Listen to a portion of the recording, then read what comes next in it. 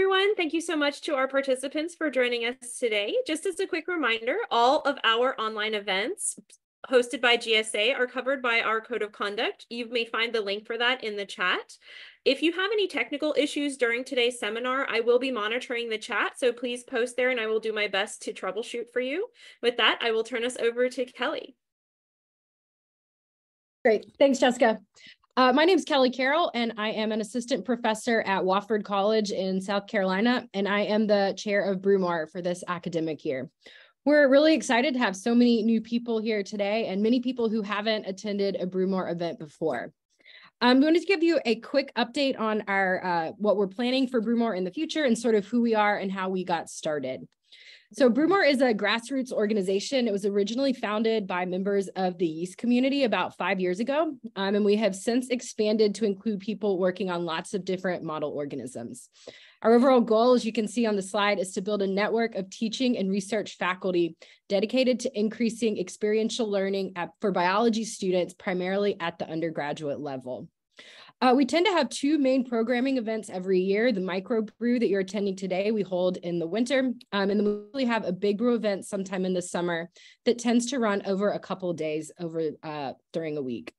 If you haven't already, please do explore our website um, and look at some of the past done and resources that we have collected. Um, please also make sure to join our mailing list if you haven't already. If you registered for the conference, we've now got your email and you should be on future communications that uh, we send out. Um, one other heads up, we'll be sending out a survey sometime hopefully next week um, to get some feedback about the event from today and future programming that you'd like us to see. So please keep an eye on that and, and fill it out and give us some, some information. Um, and with that, I'll turn the floor over to Dondra Bailey, who's one of our steering committee members who uh, led the planning for today's event. Dondra. Good afternoon, everyone. I'm Dondra Bailey. I'm a faculty member at Coppin State University, and I bring you greetings um, to Microbrew. So we're so excited to have you here um, attending the microbrew. I'd just like to let you know that the flow of the meeting, we're going to go as um, printed. This is the subcommittee, myself. Also, um, all the committee members are on the call. Um, Sean uh, Coleman um, from Wartburg, April Rich from Carnegie Mellon, University of Pittsburgh, and Josie, um, which who is an associate professor um, as well. So we bring you greetings to the meeting, and we're just so excited that you um, are able to join us. We will go through the agenda as it is printed. And we will also make sure that we are going through the GSA Code of Conduct. Um, all questions, you're welcome to put them in the chat as well. And if you have any questions, um, um, just make sure that you can um, submit them and Jessica will also be monitoring the chat as well as um, all of the committee members. Our um, agenda is as printed here um, on the screen. We will start with our first keynote speaker, and I will have our other committee member introduce um, that speaker. All right. Excuse me. First, Good afternoon, everybody. But Sean, could we, first we'll do a welcome from um, um, Josie too. Okay. I did not prepare any comments. Just a brief welcome. I thought that Kelly was taking care of it. Um, thank you so much, everyone, for coming. Um, so should I, I have the PDF of the agenda. Should I put that in the chat? Um, yes, that'd be great. Thank okay, you. Great. Yeah. Right. So, so thanks, Josie. Sean. All right. Um, hello, everybody. I'm Sean Coleman, and it's my distinct pleasure today to introduce Dr. Davida Smyth, uh, Associate Professor of Life Sciences at Texas A&M uh, University San Antonio. Um, I got to know Davida uh, through all of her various activities, uh, including uh, using bioinformatics in the classroom. Uh, one of the places to find her is definitely look for RemNet, and they do usually at least once a year, maybe once a once a semester, um, an online webinar on how to use bioinformatics. Uh, she got her PhD in microbiology from the University of Dublin, uh, Trinity College. She had various stops before landing as an associate professor of life sciences at Texas A&M. Um, she's devoted to undergraduate education and research. She was uh, or is a fellow for Partnership for Undergraduate Life Science Education, or PULSE, and now an ambassador as of 2021. She was also appointed deputy director of the National Center for Science and Civic Enga Engagement, where she specifically works with SENCER, which is a science education for new civic engagements and responsibilities. So if you're interested in that, please reach out to her. She also uh, was given the award, the teaching award from the National Association of Biology Teachers, College and University section. And finally, she's the co-PI on the NSF uh, RCN UBE Research Experiences in Microbiomes Network, which is mainly what she's going to talk about today. And also NSF IUSE Vision and Change in undergraduate general education biology courses. With that, I'll turn it over uh, to Davida, and uh, thank you very much.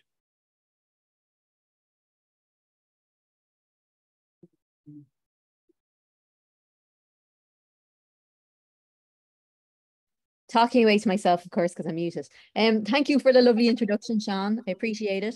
Um, and I'm I'm delighted that you gave us a plug for REMNet because I'm actually going to talk predominantly about REMNet today. So, um, if any of you want to con connect with me, I'm on Instagram. I'm on Twitter, formerly formerly Twitter, and uh, obviously my email I'll share with you in the chat, and so you're all welcome to get in touch. Um, this talk is going to focus on, as I said, as I'm predominantly an educator, frankly, I, I, spend my life teaching students and I try to do research in the classroom, but I've been at a lot of kind of resource limited institutions. So bioinformatics for me is, is a gateway to engaging students in, in STEM when you often don't have a lot of money at your at your disposal, right? So um, on we go. So I love to use the microbiome in my classes. And one of the reasons why I like to use the microbiome is because guess what? Everything and everywhere has a microbiome, right? So uh, to quote the quote I always use is like swab all the things. Truly, you can just go out there, you could swab all the things. But if you look at you know human microbiomes, like depending on your institution, your what you have in terms of biosafety, you may or may not be able to do human microbiomes.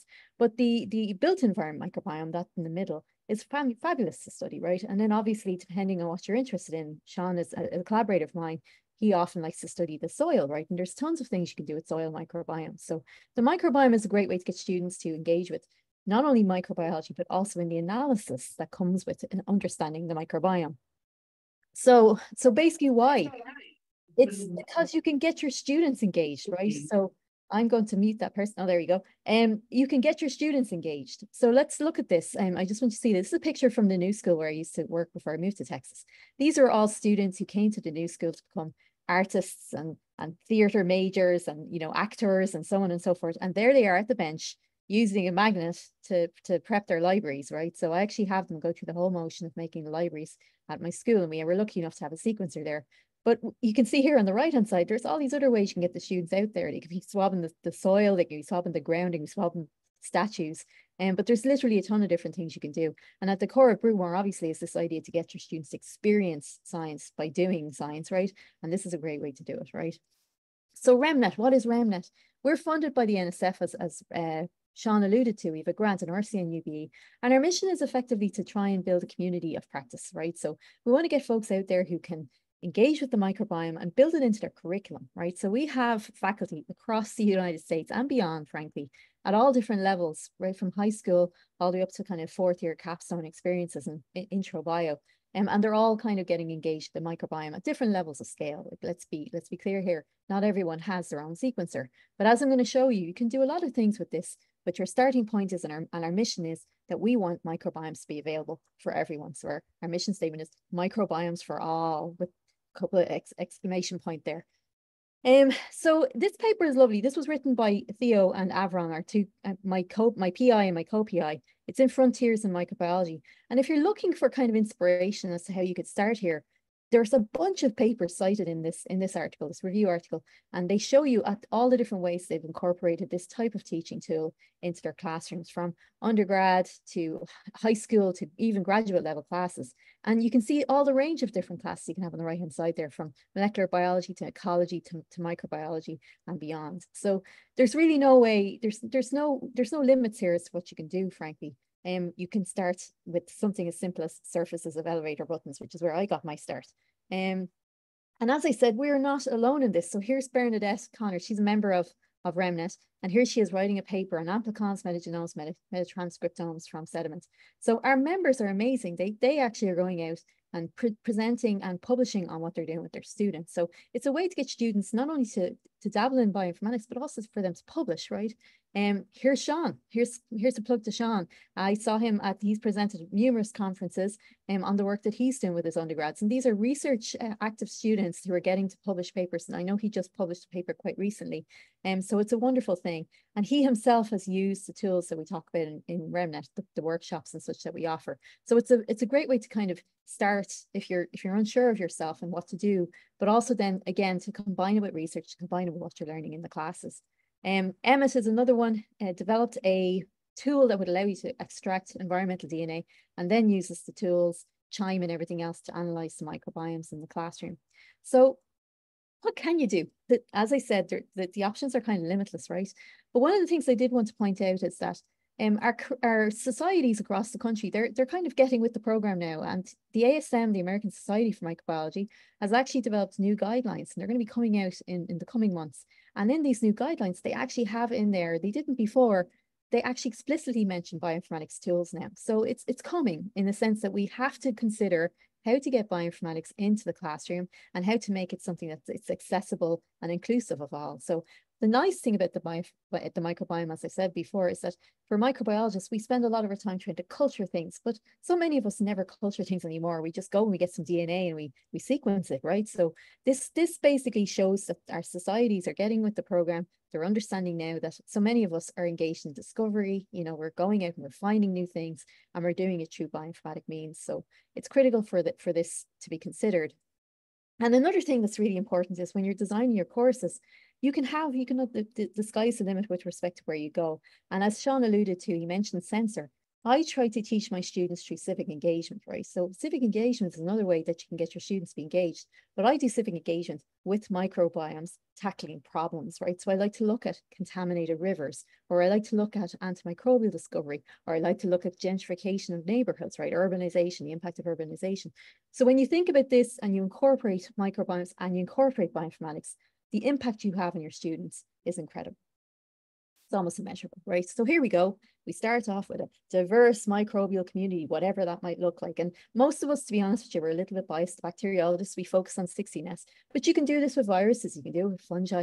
The sky's the limit. You amplify your DNA, you sequence it, and you've all these reads. Now, in the past, we would have used BLAST, and that's still an entryway for most faculty, right? You get your colonies, you do your boil prep, you do the, the, the Sanger sequencing, and then you can blast your sequence. And so there's no limit there. Anyone, anyone can frankly do that. It's just going to be the money, the money that you have available to you. And for many of us, we use QIIME, right? But even QIIME can be difficult for a lot, for a lot of faculty. Um, so when you start thinking about the, the design of your experiment, you'll be thinking about what you're going to do, what kind of sample you're going to have, your DNA, and your, your RNA isolation, how you're going to sequence it, and how you're going to process it. And so this is all something you have to consider when you're trying to bring bioinformatics into your classroom. Um, but as again, it tackles a lot of these skills that we want our students get from quantitative literacy to data literacy to scientific uh, literacy and um, how to read papers, etc. And so you can be very strategic in how you design your class. So this is one thing I want to say is that for many of us, the idea of doing bioinformatics in classrooms, just, it's expensive, right? So to go out and sequence things is expensive. I don't have the money and that's that's how many of us start. So that's where I always say, bioinformatics. You can do this without, it won't cost you any money. Um, so there's tons of readings out there, and I'm going to give a plug to my colleague Carlos Goller, who I know you all know at BREWMOR. He actually developed case studies that brought in high throughput data analysis. And um, there's also studies, case studies at the NSTA, and there's loads of lovely readings out there that you can bring into your classroom to get students started on their journey to learning, learning about the microbiome. And this is one I really like. We are not alone, the unseen world of the microbiome. So it's a great way to kind of build your story around what you're going to teach the students with respect to the microbiome. So RemNet, we have all the resources that you could possibly need, right? We're working on it all the time. We have journals where we've annotated, we have tutorials, and we have tutorials on things like how to analyze your data with R and how to analyze your data with Excel and how to go beyond, right? How to analyze with Nephele and everything else. We have webinars, as Sean alluded to, and we will be offering another set of webinars in the fall, around usually around October, November time. And we started to bring in MinION sequencing as well, because a lot of you are asking for MinION, and we're developing MinION protocols ourselves in the lab. But we have all these resources available for you. And as I said, the workshop will be in the fall. And our, our work, workshop tutorials are actually, we record everything. So they go onto YouTube and they're freely available to anyone. So if you want to, you know, just follow along, pause, stop, and, and learn as you go, it's very easy and very accessible for most everybody. So highly recommend that you check these out. You don't have to register if you don't have the money. It'll be available on YouTube and we, we put everything up there. So what about course design? Engaging impactful cures. So cures, classroom undergrad research experiences with bioinformatics.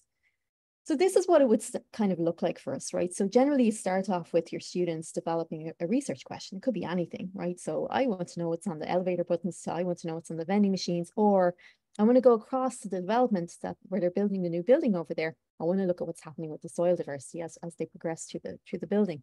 So this is kind of a standard course design. And what we're saying here is it's modular. So depending on what you have available to you, you might use data that's already been published. You might download a data set from, from GenBank, or you might simply just do the PCR and the 16S sequencing with Sanger. It doesn't really matter basically you're kind of bringing them on this journey and what you're hoping for is it'll lead to presentations of some description where the students will present their work and share it to their peers. We've also got uh, suppliers and vendors and information on, on costing for these kinds of experiences. So we're trying to kind of reduce the limits, reduce the barriers, make sure that anyone can jump onto this and get going with their microbiome research project. And as I said to you before, you can explore your own data, but there's always data that somebody else generated. And we have existing data sets on soil, on water, and other things that you can use. And we're trying to work with our network, Sean included, to get more faculty to kind of share with us, here's the metadata that goes with this data set, and here's the story, and here's why we did this. So we can have more access for more people to get involved with microbiomes. So again, with microbiomes, you're not going to be using BLAST. You're going to be using some sort of a tool, usually QIIME. But QIIME itself can be hard for a lot of faculty, eh, particularly if you've not had any bioinformatics skills before. If, if you don't know how to use command line, etc., it can be tricky. And you may not have access to computers that would actually facilitate using QIIME, because QIIME is memory intensive, right? So one of the things we've started to use now is Nephele. So Nephele, if you've never heard of Nephele, this is an open source, freely available tool that's available to anyone who wants to do microbiome work run by the NIH. Um, they're very cool. They're very open to questions if you ever need help from them, but they have pipelines for everything. So in this tool, you can basically pre-process your reads. You can choose the analysis that you want to do, QIIME or otherwise. And then lastly, you can explore the data. So you can actually explore it and you can go beyond that. You can look at PICRUSt and other, other tools to kind of really get to grips with what the patterns that you're seeing in your data. So we highly recommend this. And even more recently, they've developed uh, metagenomic uh, pipelines, and you can do SARS-CoV-2 sequencing with it should you wish to. They're also working on um, MinION sequencing pipelines as well. So if you want to use MinION, they're getting ready for that too. And as I said before, our channel has all of the um, analysis with Nephele ready to go. So from day one, we do about four sessions each each year. We do this, and in each session, we go through Nephele, we kind of build you through, walk you through it as we go. And at the last sessions, we generally customize it to what the um, participants wanted to see. So depending on what you all need to ask for, there's likely going to be something in there. We also do some nice workshops with just bar charts, just making bar charts and making um, heat maps and things like this with even just the simplest of Excel spreadsheets that show you how to look at the data and what you got from your microbiome analysis. So the nice thing about it is there's no coding experience necessary, right? You don't need to be necessarily a, a programmer to do this. It's free. You use the cloud. So you don't have to have a, a fancy computer or an, access to a cluster, say. Um, and as I said, there's loads of support and tutorials available for you as well. Um, as I mentioned, you can use uh, Amplicon metagenomes, Shotgun metagenomes.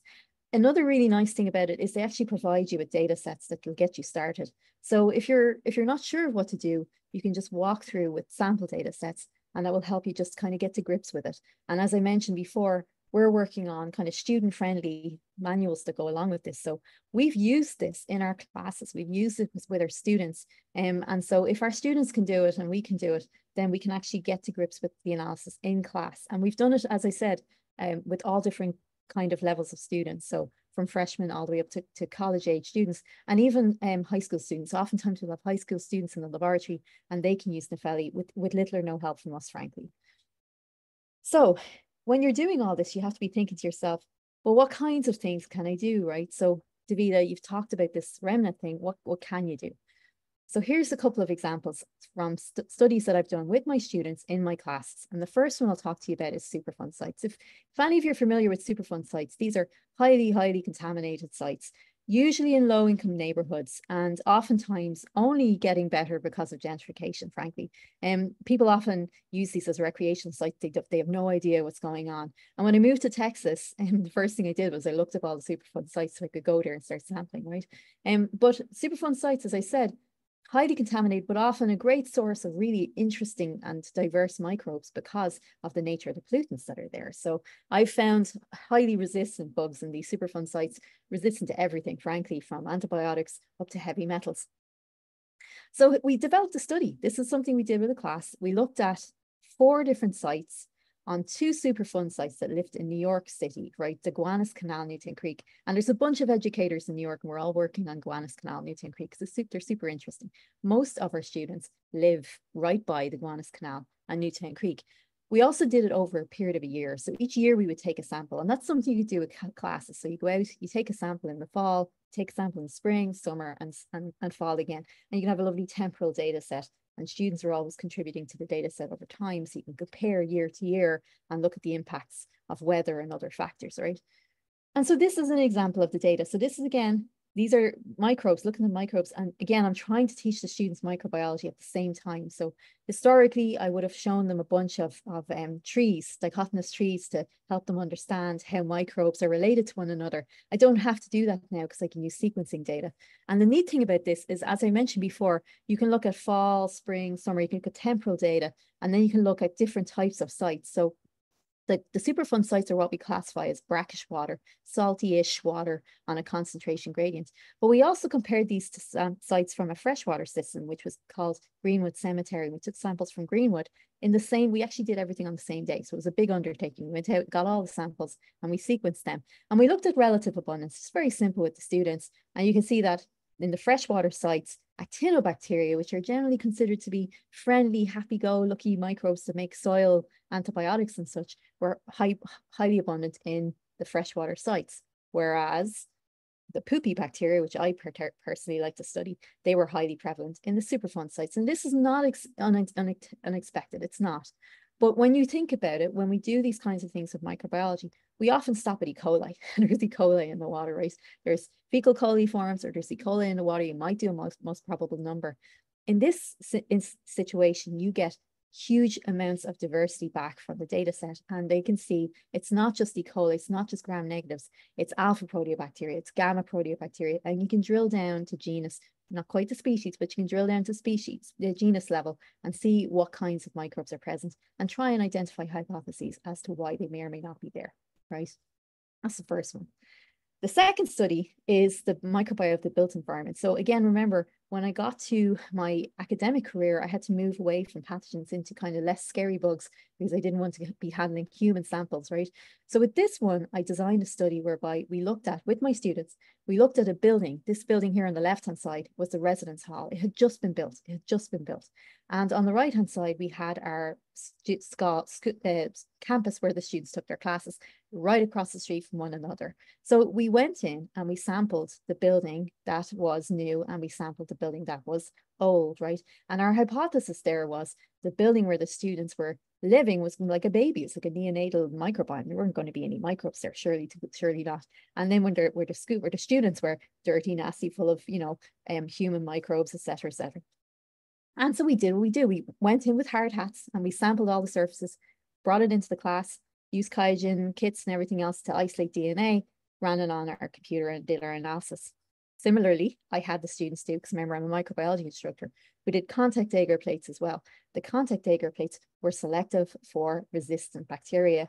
And I'm teaching the students that, yes, there's bacteria there, but also there's resistant bacteria there. Remember, resistant bacteria are everywhere. They're not just in the hospitals, they're everywhere. So we isolated those as well. And what did we find? We were trying to figure out what bacteria were there that were dead. So the thing about the microbiome is it's kind of limiting. You're only getting dead bacteria back. But with using viable counts and looking for bacteria, you can see the live ones too, and you can kind of, you know, measure both against each other and see did the, did the, did the results agree with one another. But this was one of my favorite findings. So I've studied Staph forever, right? For from when I was a, a, doing my PhD student, PhD back in Trinity College in Dublin. Um, but this is one of the things that jumped out at us, right? So before is in orange, blue is in after. One week in the in the difference between these samples, right? Um, our, this is streptococcus. So for those who aren't microbiologists, strep is usually found in your throat, in your nasopharynx, right? And I never thought about how much strep there would be living on surface. Strep is kind of a nasty bug, right? And um, but as you can see, before the students moved in, there was a little bit of strep depending on the surface that we went after. But after the students moved in, one week, just one week later, it was highly abundant. And this kind of, you know, gets the students to understand that we as humans, we're having a huge impact on the ecosystems that we inhabit. Before we're there, it's different. And then after we move in, it's changed. So we have an impact on our environment and on our ecosystem. And it's lingering, it doesn't necessarily go away. So these are just two examples of what you can do. And depending on the nature of what you're working with and the types of students that you have, um, you can devise really interesting projects. And the neat thing about it then is that they can become very creative, right? And that's what I love. So seeing my students develop posters, I don't have them print the posters. We don't have the money, frankly. I have them do online digital poster sessions and you can present them on the on the screen, right? Or I've used Padlet. So if you don't know about Padlet, it's a free tool where you basically can uh, have a, a, an online like a gallery of posters and i have my students sometimes record videos and they can comment on each other's posters and then if they get super creative they'll actually draw the class in microbe form which is down here on the on the right hand side. This is all the members of the microbiome team that year so you're basically there's a lot of things you can do with this um, and ensure that you're reaching all of your curriculum goals while teaching them microbiomes and bioinformatics. So REMNet is a big community, and as you can see, we're pretty much spread everywhere. We're always looking for new members. So if you have a moment right now, scan this QR code. It will bring you to our website, Microbiomes for All, and we'd love to see you at a future RemNet meeting. As I said, Sean, I met Sean through RemNet, and I have been longtime friends with him, and he's doing incredible work at Wartburg, along with all the RemNet faculty across the country. Um, bioinformatics is a great way to get students engaged with science, and oftentimes you can start slow and build up to some of the talks that you're going to see later on this afternoon with the other presenters. And so I'm going to thank my colleagues from Rem RemNet, Avrom Caplan, uh, Gina Sampagna, and Theo, who is Theo Muth, who's the PI of this grant. And I am looking forward to answering all and any of your questions. Thank you very much. Excellent. Thank you, Davida. Um, Getting lots of claps, I see. That's great. Uh, so I, we do have a few questions that were in the chat, um, but I'd like to start off. You mentioned MinION and the fact that Nephele is coming out. I thought I saw just recently that they have yes. a yeah a, a version that will actually work with the MinION sequencer. Yes, they do. And so we've we've been waiting for the longest time. So like last year, a lot of folks from RemNet, from the workshops we would go to, the faculty had had access to MinIONs. They'd gotten them through grants or they'd gotten them through kind of end of semester um, budgetary whatever's. Um, and at the time there was no there was no way easy way to to analyze uh, nanopore data, but now now they do, and so we're we're hoping that, and certainly by fall, that we will have like what we do for Nephele, we will have it ready for MinION data as well. And we encourage you all, um, this one piece of advice that I always give you, if you're ever starting something, talk to the companies before you commit because as of right now, um, Nanopore, MinION, they're, they're changing everything. And so they're actually going to be um, getting rid of the MK1C and other uh, aspects of the chemistry. So I don't want you to commit to anything just yet. Maybe hold on for a while, see what's happening with their, their new platforms. The flongles are good, but they're changing everything else. So don't invest just yet. Talk to the company and see what's happening before you do. Any other questions? Yep. So Emily Mills uh, uh, asked, uh, she's playing with bacteriophages, or they're playing with bacteriophages uh, with students this semester. Is there support for phage genomes? Do you know? Um, I don't. Uh, I don't actually think there is directly support for phage genomes, but there would be through the. Um, let me see through the metagenome analysis aspect of it. So if you were going to generate libraries, um, you could use the shotgun metagenomics pipeline for sure. Um, but for phage genomes, I would highly recommend that you would look into Galaxy. Um, so Galaxy has a lovely set of uh, pipelines and tutorials for analyzing phage genomes. In fact, if you write to me, I will connect you with a link and I'll show you what's going on there. Galaxy is very similar. It's very, very user friendly and they have great support um, for faculty who want to do this kind of thing as well. Yeah, to, to piggyback on that, I've I've tried to put together a genome with Galaxy, and it, and it, it they do have nice um, uh, protocols for you. So I will second that. Um, let's see, Carolyn uh, asked, how large of a class do you typically work with? Um, yes, that's that's fair, Carolyn. Um, so I've I usually at the new school I was very lucky. My classes were, you know, between 12 and 18. I think the largest microbiology class I would ever have at a time is 24 because of the size of the labs. Because I do these classes in labs, right? Um, but the nice thing about uh, Nephele and other types of tools like this is that they do very nicely translate to larger classes. So most of the faculty in REMNet are dealing with much larger classes than I would necessarily have.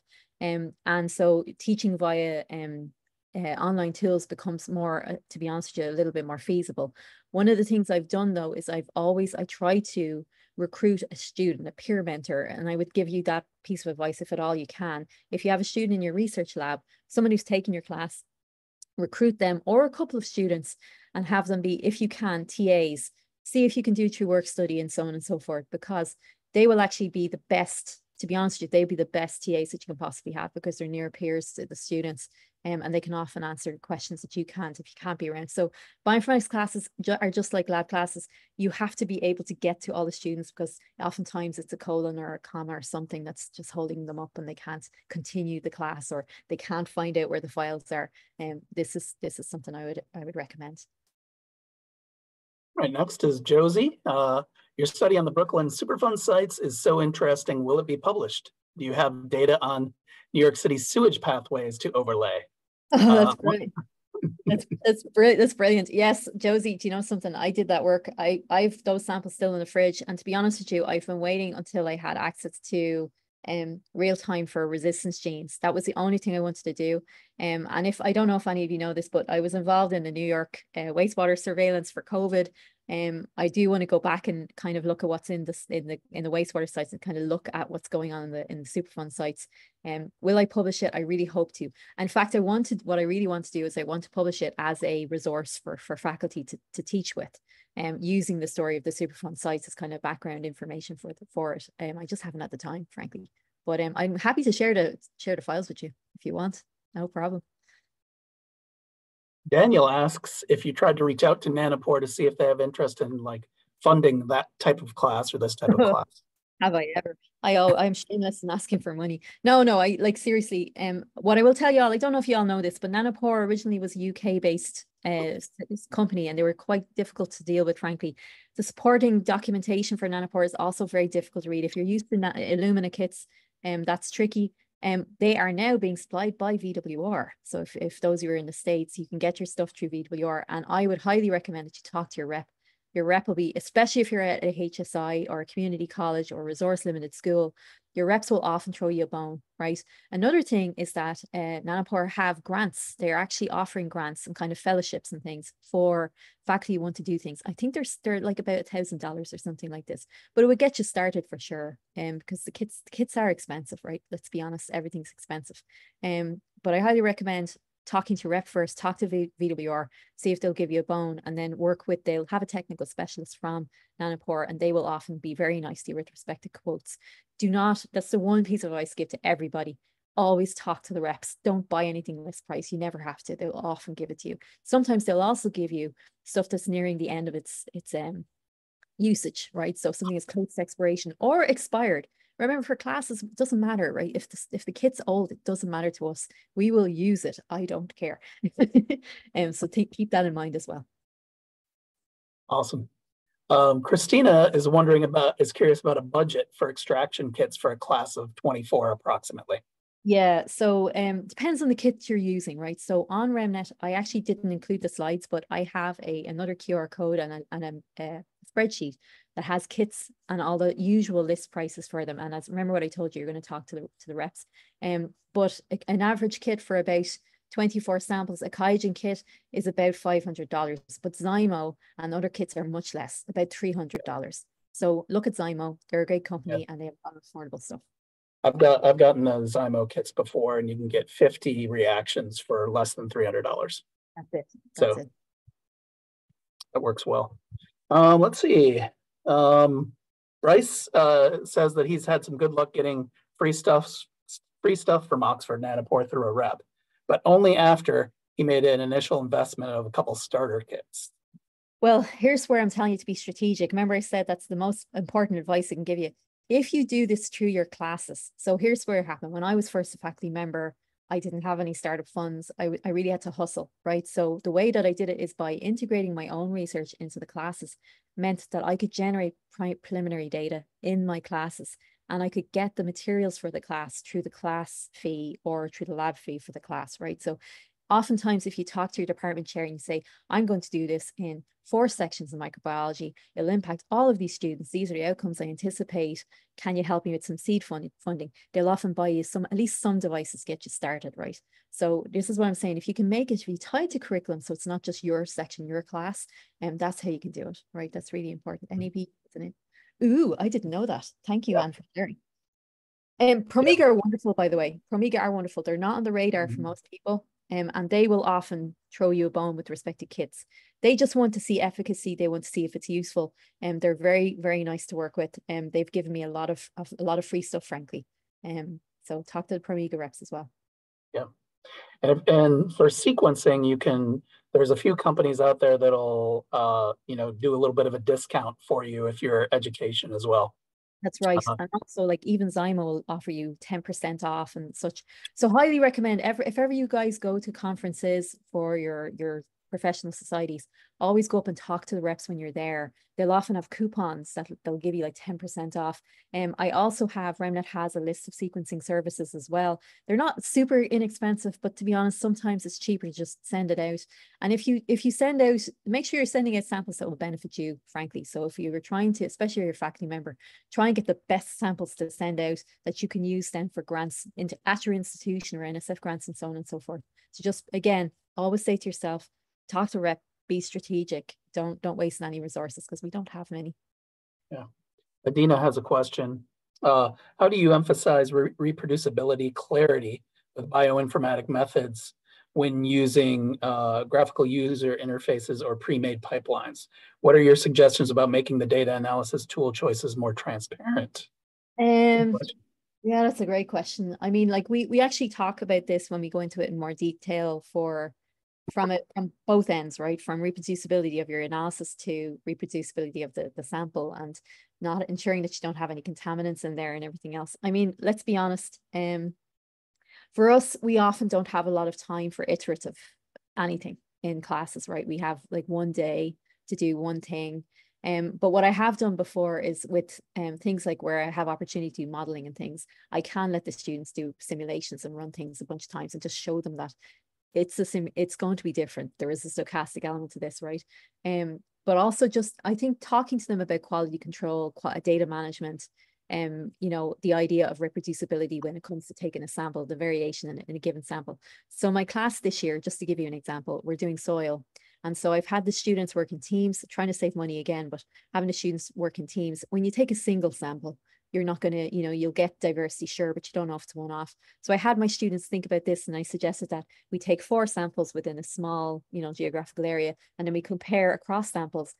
Each team has their own site, and so there's six teams. then they can compare between teams, and it's just to kind of give them a sense of the variation that you have within a site, and then the variation you'd have across sites. So that's that's one thing you can do. Um, as regards uh, GUIs, I have, I couldn't tell you. I really couldn't tell you there. So I, I don't really have students do that at all.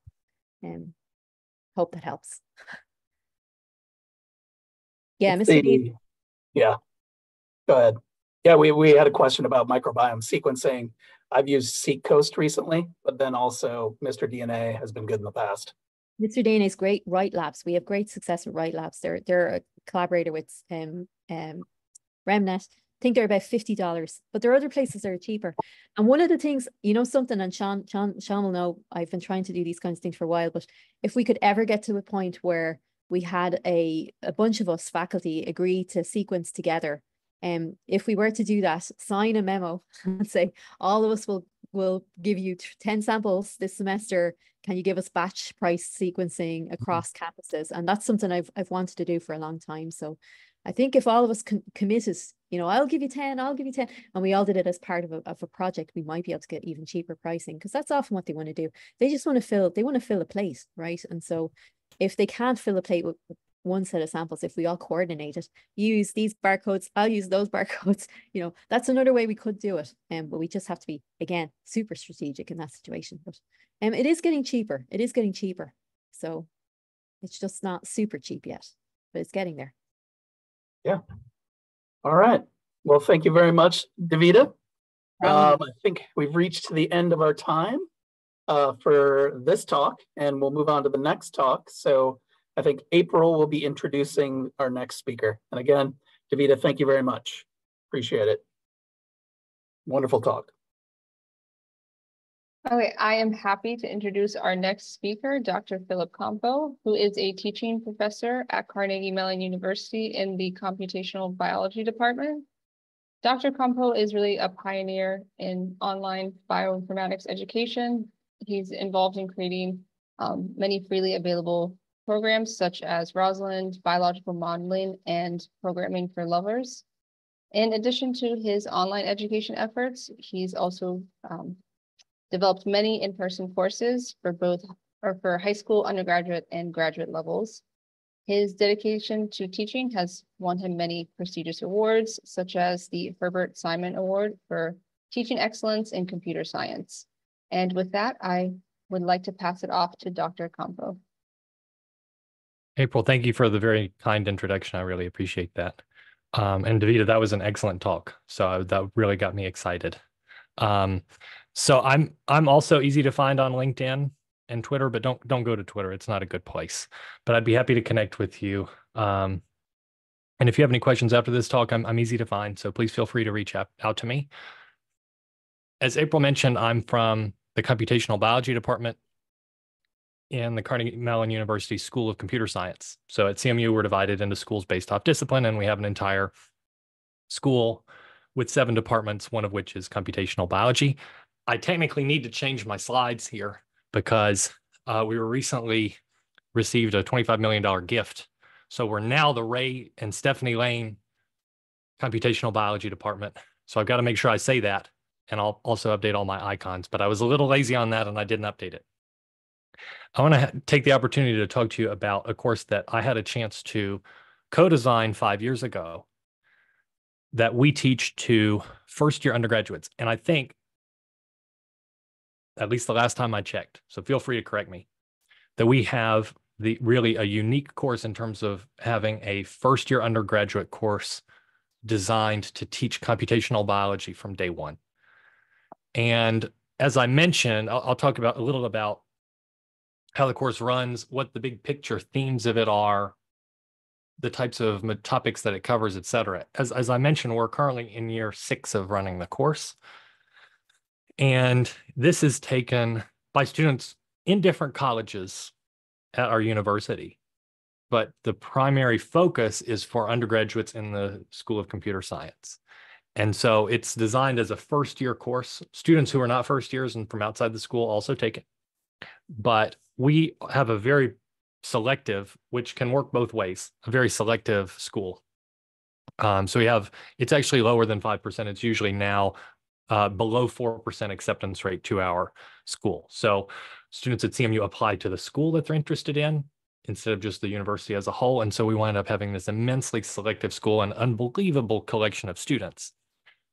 One of the things that is nice about that is that it means that we can rely on the core education that is provided to students as a result of being school computer science students. And so they go through a, Uh, a mathematics and computer science car, mental car wash that starts on day one of their education. And we know that they take a very rigorous one semester introduction to programming in their first semester. Even if they've had programming before, they are going to take a, an introductory programming course. And they also take an introduction to proofs course that has a focus on discrete mathematics. And that's a course that I took, I took it early as a sophomore mathematics major at my own undergraduate institution. And this is something that all of our students take first semester. So that is nice because much of what I want to teach relies upon hoping that the students know how to program and hoping that they can start to understand discrete structures because they're everywhere in biology we use this course as the gateway to our major in computational biology. And I have a talk on YouTube and could talk at length about just that undergraduate program that we have built, which is one of five majors that are available to students in our school.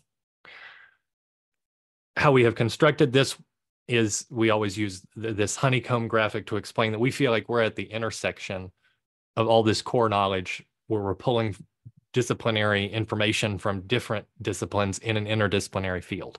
So like I've already mentioned that in a first year course, we can trust that students have programming background and discrete mathematics background. And some of our more advanced courses will be able to assume that students have had a couple of biology courses and a machine learning course and a statistics course and matrix algebra. So our genomics course, for example, is basically taught at a PhD level for that reason, um, because it, we, we were fortunate enough to be able to construct this, the curriculum for our major in this way. Um, the benefit too is that we don't just have a computational biology major, which at a lot of places students don't necessarily get exposed to bioinformatics until say their junior or senior year. We get them on the ground running in their first spring. Um, the course has several like big picture aims, and they all come from the the central premise that we want to show students what are the great ideas that have made biology into a computational discipline. So it's called Great Ideas in Computational Biology with that as the mindset. And we have sort of different sub aims associated with that as we go. Um, one of the things is that it's ultimately we're teaching a course that's computational. And one of the things that we want students to appreciate, even if they're not computational biology majors, but they're taking it as an elective, is that fundamental algorithmic topics like expectation maximization, dynamic programming, these things that computer scientists learn have been used repeatedly throughout computational biology. We'll see each of these topics several times as we go. We also try to establish this broad view of computational biology to find fantastic topics that are outside of the standard things that we cover. I'm going to talk about specifics of our curriculum here momentarily. We also try to look at topics that have arisen from biology, things like algorithms for sequence alignment or uh, algorithms involving, say, uh, the Burrows-Wheeler transform or things like this that are actually so fundamental that they have informed non-biological topics of computer science that students who are not computational biology majors would see in their computer science core coursework downstream of us, but that actually arose from a biological context. At every moment of the course, we're always pointing students towards primary research with the idea that at some point in time, a lot of these ideas are new and none of them are really that old because we ultimately have a field that's relatively new, which is nice. You can say, here is the paper that all these ideas came from. Um, we require students to complete a group project on a topic of their of their choice. That's an, a, very integral part of what we do. And the final point is that we always want to connect just the theory to practical applications. So we understand that we're still ultimately in a science, and I'm teaching very theoretical ideas, and it's very algorithmic focused. But I always then hand that off to practical applications so that students can see what they're doing on a real data set. Much of our course is taken from two textbook pro projects that um, uh, one of which April mentions there on the right, Biological Modeling, a short tour. The other, which I'd say a little over half of the course is taken from is Bioinformatics Algorithms and Active Learning Approach. I've got the print version here if it doesn't blur out. So the it does exist, I promise. But we also have an interactive version of this text that has dozens of auto-graded code challenges directly embedded into it and operates off the premise that students can they have like just in time a just in time approach. So students learn a little about the algorithms and then they have a homework assignment that allows them to actually get their hands dirty implementing those algorithms in one of a variety of languages and then get feedback on what they do. Um, this is the same product that we actually have used in our successful courses on Coursera for the last uh, 10 plus years. Um, the course is divided into two halves before and after spring break. And what we look at is like classic fundamental genomics topics in the first half of the class. So we look at and and we do a little bit of metagenomics here, uh, although it's in a couple of recitations. So it's it's present, but um, one of the things that we focus on is a genome assembly, and then we guide. That's where we start, and then we guide students up through. Then once we have a genome, what are the types of questions that we can ask? You know, how do we find sequence motifs? How do we align things? How do we build evolutionary trees? How do we map reads once we have an existing genome and, and we have something that we know is going to be similar? How do we map sequencing reads to that? And so students see all these sort of um, fundamental ideas, and as I cover everything. I point students to the papers, some of which have tens of thousands of citations that all this is built upon. in the second half, I actually, and the students report this too, even though the first half is built off this project I've been working on for 11 years. The second half I enjoy more, and sometimes they enjoy it more too, because we take this kind of big picture view of what computational biology ultimately is. It is very bio, like genomics is important, but there are things like a neural network is ultimately a biological construct. Um, we can look at an entire field of natural algorithms, algorithms that have evolved from within the context of nature, for example, from uh, things like ant foraging that you'll probably know about to other things that I hadn't heard about until I started teaching this course, like looking at how uh, the Drosophila olfactory system solves like problems very intelligently um, and actually more intelligently in, a, in an approximate way than existing algorithms were being solved. Um, so we, we take students through these sort of other directions in, bio, in computational biology so they appreciate the breadth of our growing field. Um, I will mention that students actually, I had mentioned this before, but here are some specific topics of things that students cover in just general CS core coursework, whether it's the mathematical foundations for CS course, that discrete math course that everyone takes, or the sort of the intermediate programming course that all our first year students take. And in these courses, they see things like induction or pigeonhole principle or Euler's theorem, binary search, hash tables, et cetera, et cetera but they're not necessarily covered with respect to an application. And so a lot of the computer science students are like, oh my God, I can't believe there's actually an application for this other stuff that we are learning. And not only that, but it's coming from biology which to these students is extremely surprising. Um, I'll say a little more about that in a second. Um, we also added, started to add these practical challenges. Remember I said one of the critical aims of the course is to point students towards primary research and show them the papers that this has come from and cite everything. And as part of that, we try to include practical applications as the pandemic arose, I realized this was sort of a, a, perfect opportunity to show a current event that was very heavily influenced by computational biology and that we were sequencing literally millions of viral genomes from patients. And we can do things like walk students through a galaxy pipeline where students apply SPAdes to the SARS-CoV-2 genome and assemble it. So they learn about the de Bruijn graph, this fundamental bioinformatics algorithms topic, and then they see it in practice when applying it to assemble the genome. And then we annotate, we build evolutionary trees. The students themselves identify the variants. Um, so we, we, we're capturing the data as we go, and they'll, as they build these evolutionary trees, they'll notice by building these and constructing multiple alignments, hey, something is new here. And so they get their hands dirty and are able to actually identify what these variants are genomically. Um, and then we look at like a, a protein structural comparison too, since that's an important downstream analysis of this a quarter of the student's grade comes from a final project. And this is something that I would say I was hesitant about adding to a first year course. I, I we have theory homeworks, we have students implementing like a couple dozen coding challenges.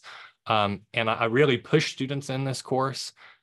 But in lieu of doing a final exam, I, I decided to have a final project instead and I didn't know how that was going to go, but having seen the results of this, it was it's been the right decision, and students have responded really, really well to it. Um, the idea is that we live in an exciting era. There was a time when data was so closed, and there's more and more open data available every day. So the directions that students can take with their project is uh, ever increasing. And because we take this broad view, students can kind of do anything in the field of biology plus data. Um, and they have to produce both a written essay to explain what they've done to an audience of their peers, and then we have final presentations as well. I should add one of the things that I have changed about it over the past couple of years is that uh, I used to make these projects open-ended and students would propose and then try and execute. I wouldn't let them execute them, but they would at least propose projects that were like, we're going to look at 300 microbiome papers and try and do this giant meta-analysis, or we're going to build a complete working map model of the bacterial cell and I'm like, that would need $20 million of funding. You know, that is an unsolved problem uh, for larger bacteria.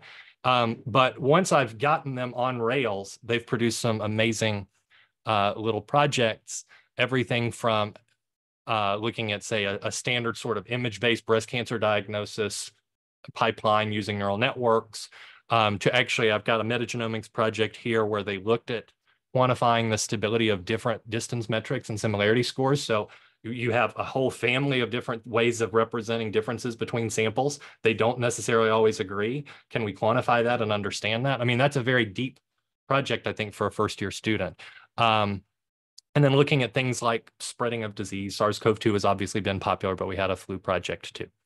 Um, one of the things, uh, the issue, some one of the things I just mentioned that I'm proud of uh, doing is when we moved towards a, a remote class in 2021, we, you know, in 2020 we were kind of caught off guard by everything, but in 2021 we knew we were going to have a fully remote class, and I know that one of the things I noticed that fall was the sort of and this is not an indictment of anybody on this call because I, I love having camera off, but in a classroom, how difficult it was as instructors to look up and just see dark rectangles with student names. And so we we I think we did some cool things. I've got a, a blog post on my website about trying to boost engagement of that. So if we had perfect attendance in the class, there would be points that we would award, um, and students would get um, additional points for like a Hogwarts system where they were asking good questions. And then we converted all the points into donations to a local charity that the students chose. Um, so that was amazing that I could actually even see all of my students and expect them to show up to class during that time. As April mentioned, this won SCS's um, highest teaching award in 2022, which we were really proud of. Um, and then when we asked the students sort of you know, how is the class going for you? We've made some a lot of changes here and there and a couple changes in terms of the curriculum based off of student feedback. But one of the things that they really appreciate is that uh, this is ultimately, and we have our own introduction to computational biology that's aimed for bio majors. And it has this covers the same types of topics, but uh, has a different lens. And so it, that is in part because we tried as hard as we could to have one course for our CS and computational biology students and one course for our biology students. And they just ultimately spoke different languages. And like we can get those students together in other courses downstream, but we ultimately teach this course um, somewhat separately. And it's been nice to see that students respond to the idea that ultimately it is a, I feel like ultimately I am teaching a life sciences course. It is algorithmic and everything, but we are always thinking about the biology and complications and things like this. Sorry if you can hear, I've got sirens and uh, motorbikes and everything going on at my house. Um, but students appreciate seeing, hey, I learned about this topic in another course, but I can I can see something applied to a real practical problem. Um, a key point is that you don't actually have biology as a prereq. So I explain on day one, like literally what DNA is. And so every time we need a little bit of biology, I try to eh, teach students what they need. And then as we go build up their intuition about how biology works. Um, I would also say, I'll point to my final quote here, um, because this is the type of thing that in talking to prospective students or talking to computer scientists in general, it's the type of thing that I see quite frequently, which is I will ask students, so who here hated their high school biology class? And it used to be that it would be like 90% of hands go up and things have gotten better. Like we're down to probably 80% of hands, something like that. And which resonates with me because when I took my high school biology class, I walked out of there having lost 10 pounds, vowing that I would never take a biology class ever again in my entire life. Unfortunately, this is the reality. Man, they're really loud. Unfortunately, this is the reality of what students get at the high school level that we I feel like as life science oriented people we have to fight against a little bit. And so it's nice that um, even though I didn't convince this person to love biology, at least got them to like computational biology a little bit more and maybe started them on the type of path that I took after I walked out of that high school biology classroom. Um, I always will finish with some acknowledgments. Part of what makes my course work is that I've had absolutely stellar TAs over the past, I don't know why it says three years, um, over the past five years. And we had some TAs help me write these SARS-CoV-2 challenges that we actually have made public. So if you would like to uh, use these in your own course. They're on my website. And that's one of the resources in addition to a full set of slides for the course that's available at my personal website, which is my last name and then .cbd.cmu.edu. So feel free to reach out to me. As I said, I'd be happy to take any questions that you have. And I really thank you for your attention. I'm going to disappear for the next like 15 seconds so I can shut my window because we had a nice day in Pittsburgh, but I have an unbelievable amount of noise going on outside my house. Thank you.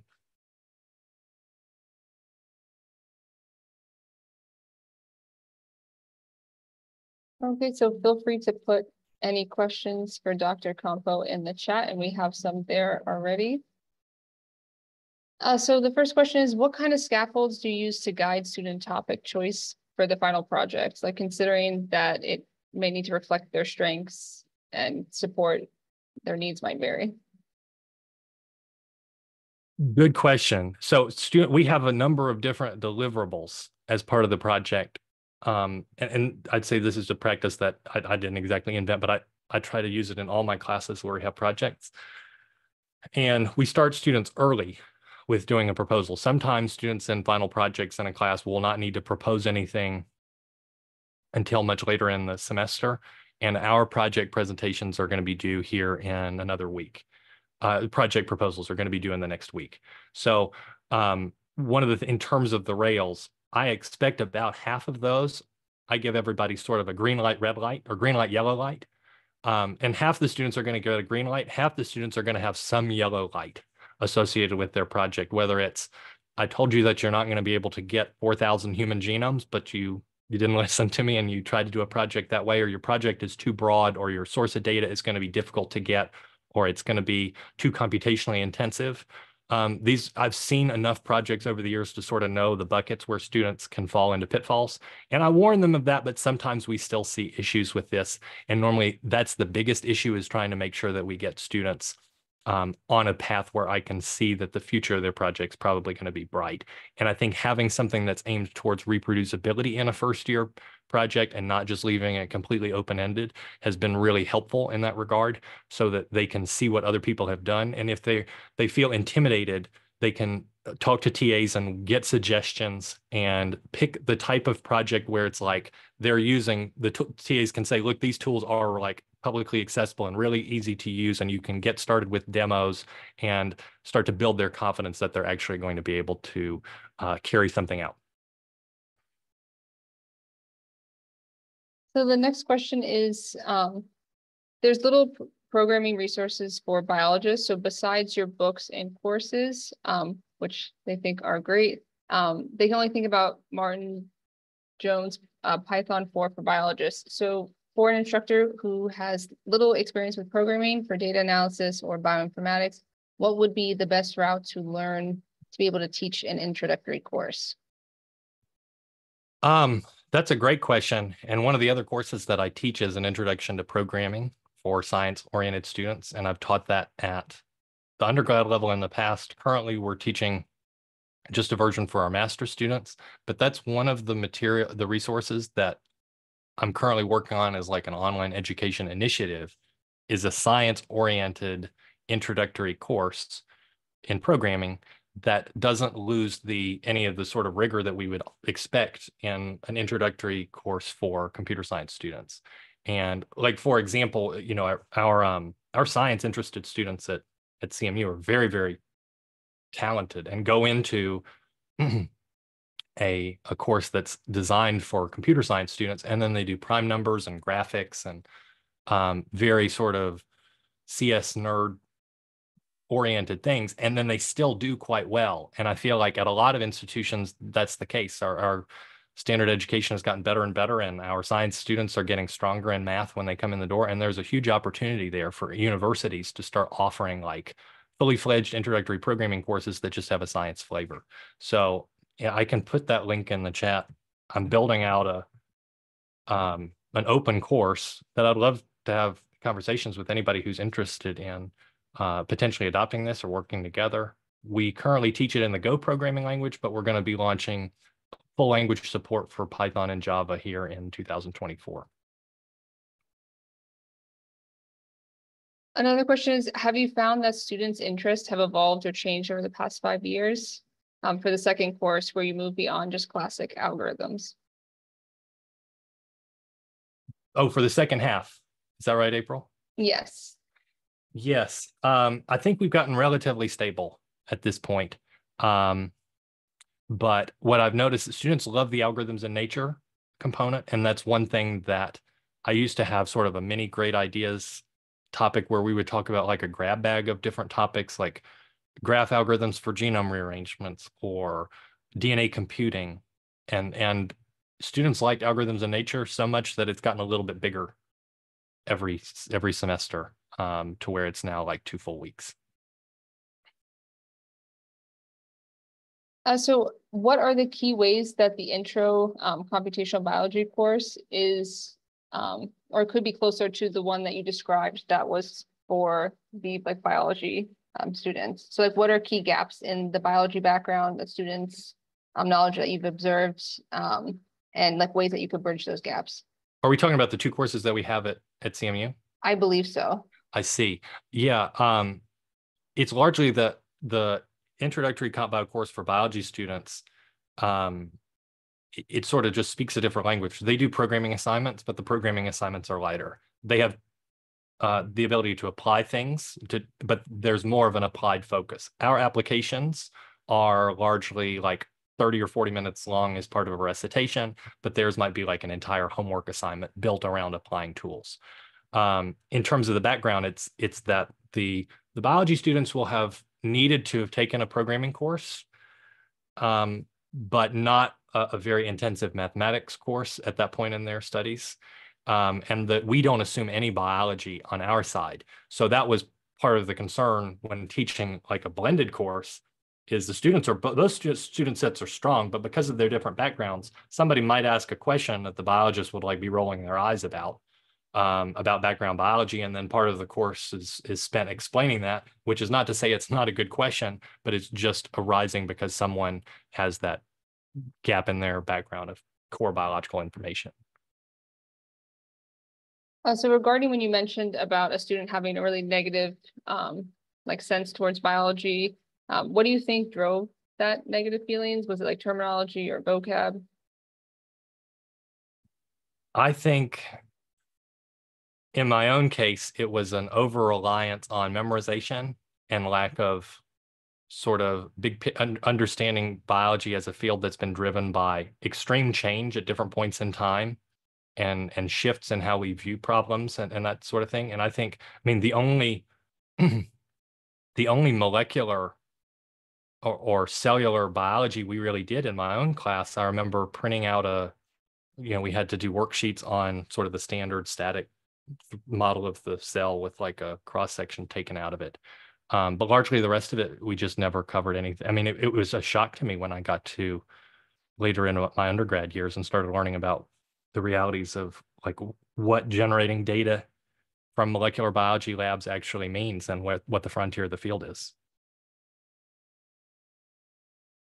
And I think that that is unfortunately has gotten a lot better, but is the experience that students get in their high school biology classes is closer to what I have than what many of us would view as an ideal high school introduction to biology for students.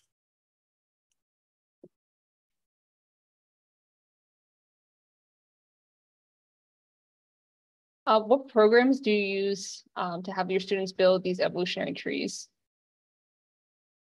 Um, when we're looking at, is that for when we're looking at SARS-CoV-2? Yes. I assume is the, um, I think we use a couple different ones. Um, I think in the past, in the past, we've used Mega, um, to run, you know, two or three different algorithms and sort of get the same output. Um, we usually run UPGMA because students implement it. I know it's not the best phylogenetic algorithm that there is, but it all, often will give us some good results. And then I know that we apply Clustal uh, as well because then we can get multiple alignments and students can visualize the multiple alignments with an MSA viewer and start to see how mutations are correlating and use that to start to understand how variants are arising or how to define them. And are you using ChatGPT in your classes at all? Am I using ChatGPT? I Or have. like having students use it or? Yeah, that's a great question. Um, we have in, I've sort of updated my thinking on it. Um, I had a pretty strict no GPT allowed in the, in the, my fall teaching, although I think I, I told students I was happy for them to use it to help revise their essays. Um, especially because many of my students, at least in that course, um, most are uh, not are English as a second language. So it's an immense opportunity for them to to help translate things that are difficult for them to express and these types of things. Um, I think it's a great ideas generator. as well as an editor. And so I suggest, I don't think it's good for generating text. I, I tell my students it will do terribly on producing an essay, and I ban them from doing that. But I've started to suggest that my students use it to help them write tests for their code, as well as generate ideas for projects or um, help them debug.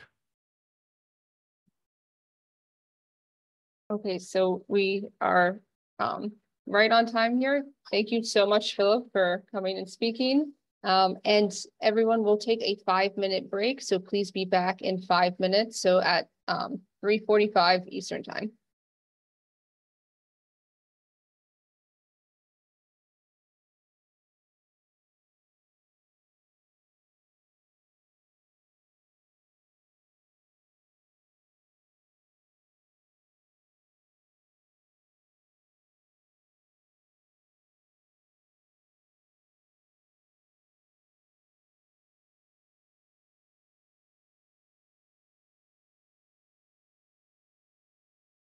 Welcome back, everyone.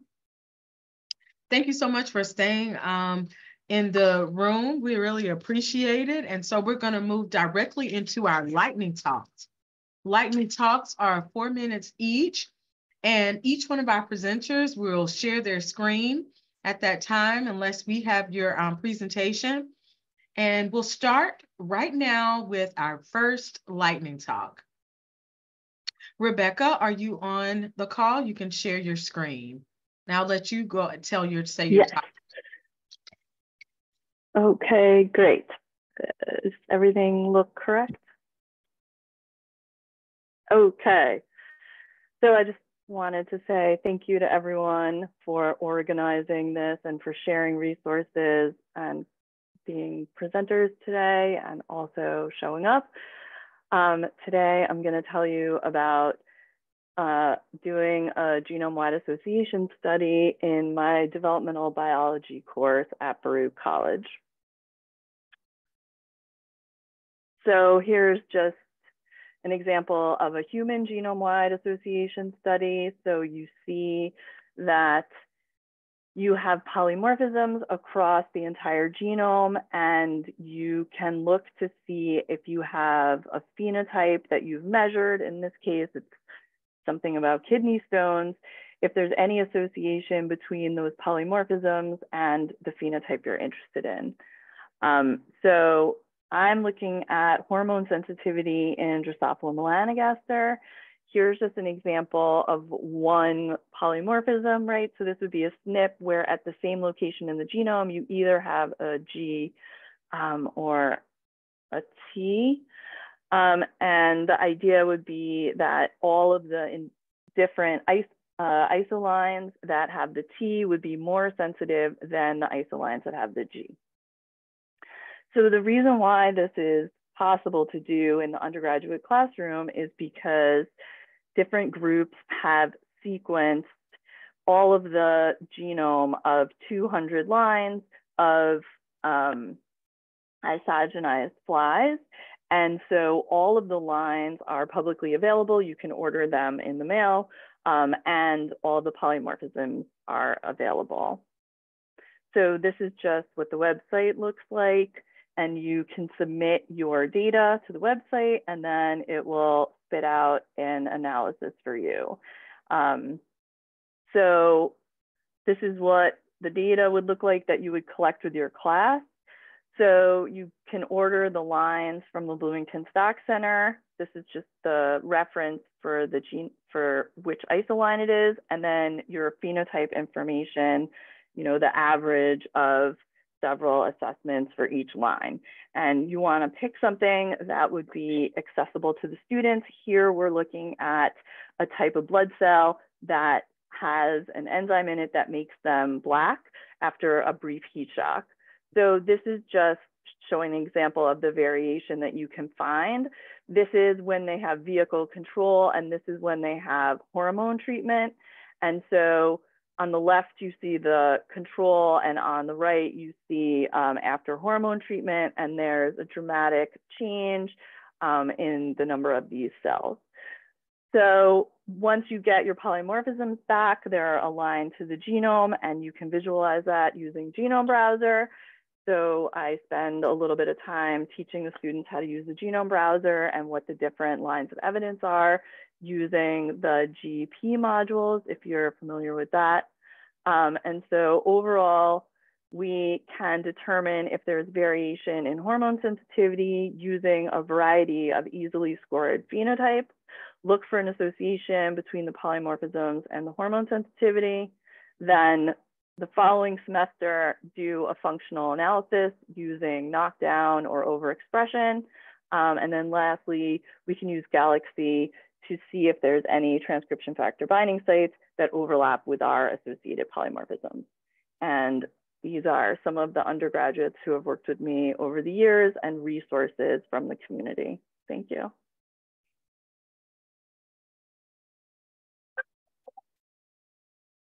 Thank you very much. Thank you very much. Um, the first lightning talk is hormone sensitivity, GWAS, in the undergraduate laboratory classroom. And so um, we now are going to move to, we're going to go directly following our schedule as it is printed. We're going to go to our second lightning talk. Could you please share your screen, Cole, and I'll let you do your title. Hello, everyone. So my name is Cole Davidson. I am an assistant professor of biology at Wartburg College, and my presentation is on decoding cancer, a dive into oncogenes and tumor suppressors using cBioPortal and Human Protein Atlas. So I implemented this project into my cell biology course last semester. I had 17 students. They ranged from sophomores to seniors and beyond, and they had varying backgrounds in bioinformatics as well as biology. So for this project, they were required to select a tumor suppressor and oncogene. I provided a list of about 30 of them for, to, for them to pick from. And then they did a very short five minute PowerPoint presentation on their gene. For slide one, didn't even get into bioinformatics yet, but they had to provide information about the gene's function and a relevant cellular signaling pathway or a metabolic map on what was the purpose of their gene and that gene product. So here we can see an example presentation giving just a brief brief overview of P53, probably the most famous tumor suppressor ever studied. Then we started to use cBioPortal to use uh, publicly available databases and here we can see these alteration frequencies of the tumor suppressor P53 across various cancers. As we can see, the top hits were ovarian cancer, endometrial cancer, and non-small cell, uh, small cell lung cancer. So those were the three that most often had P53 dysregulated in some way. On the right, we can also see a survival curve, and this is for all cancers on cBioPortal. And it doesn't matter, you know, really which cancer is contributing the most here. As long as P53 was functional, we had a much better patient survivability in blue compared to patients in red who had P53 altered in some way. So that was using cBioPortal for gene analysis, but then I also wanted the students to leverage the Human Protein Atlas to look at protein expression. Now we can look at survival curves for specific cancers, such as endometrial cancer. Just like we saw with cBioPortal, the higher expression of P53 here in pink, the better the survival for the patients compared to in blue. The interesting part, and here's where the students start to appreciate the challenge and nuance, is that it's not always about expression, because here we see P53 expression in, um, excuse me, ovarian cancer, and here it's virtually the same. So this suggests not only do you have to consider about how much of the protein is being expressed, but also about the mutational status. So now we jump back to cBioPortal for their fourth slide, and then they can start to look at mutations. It's not surprising to see that P53 has a lot of different mutational sites that have been recorded. Here, students need to dive into the primary literature and find out how these mutations impact the function of the protein. Finally, they then needed a slide on a drug therapy that was relevant to their gene and protein. Here, students realized that if they picked an oncogene, they had a much easier time coming up with a treatment because most drugs are great at targeting and disrupting oncogene proteins, not so much of tumor suppressors, which are more experimental. And so this was their presentation. Just wanted to emphasize again that they were from all different backgrounds, sophomores through seniors. So this was just a very simple way to dip their toes into bioinformatics, into cancer biology, as well as precision-based medicine. So thank you so much for inviting me. Thank you all for coming. And thank you to my wonderful colleagues in attendance for your support. Thank you. Thank you so very much for a great lightning talk. We appreciate that. We're going to move forward with lightning talk number three. Elizabeth, I'll allow you to share your screen.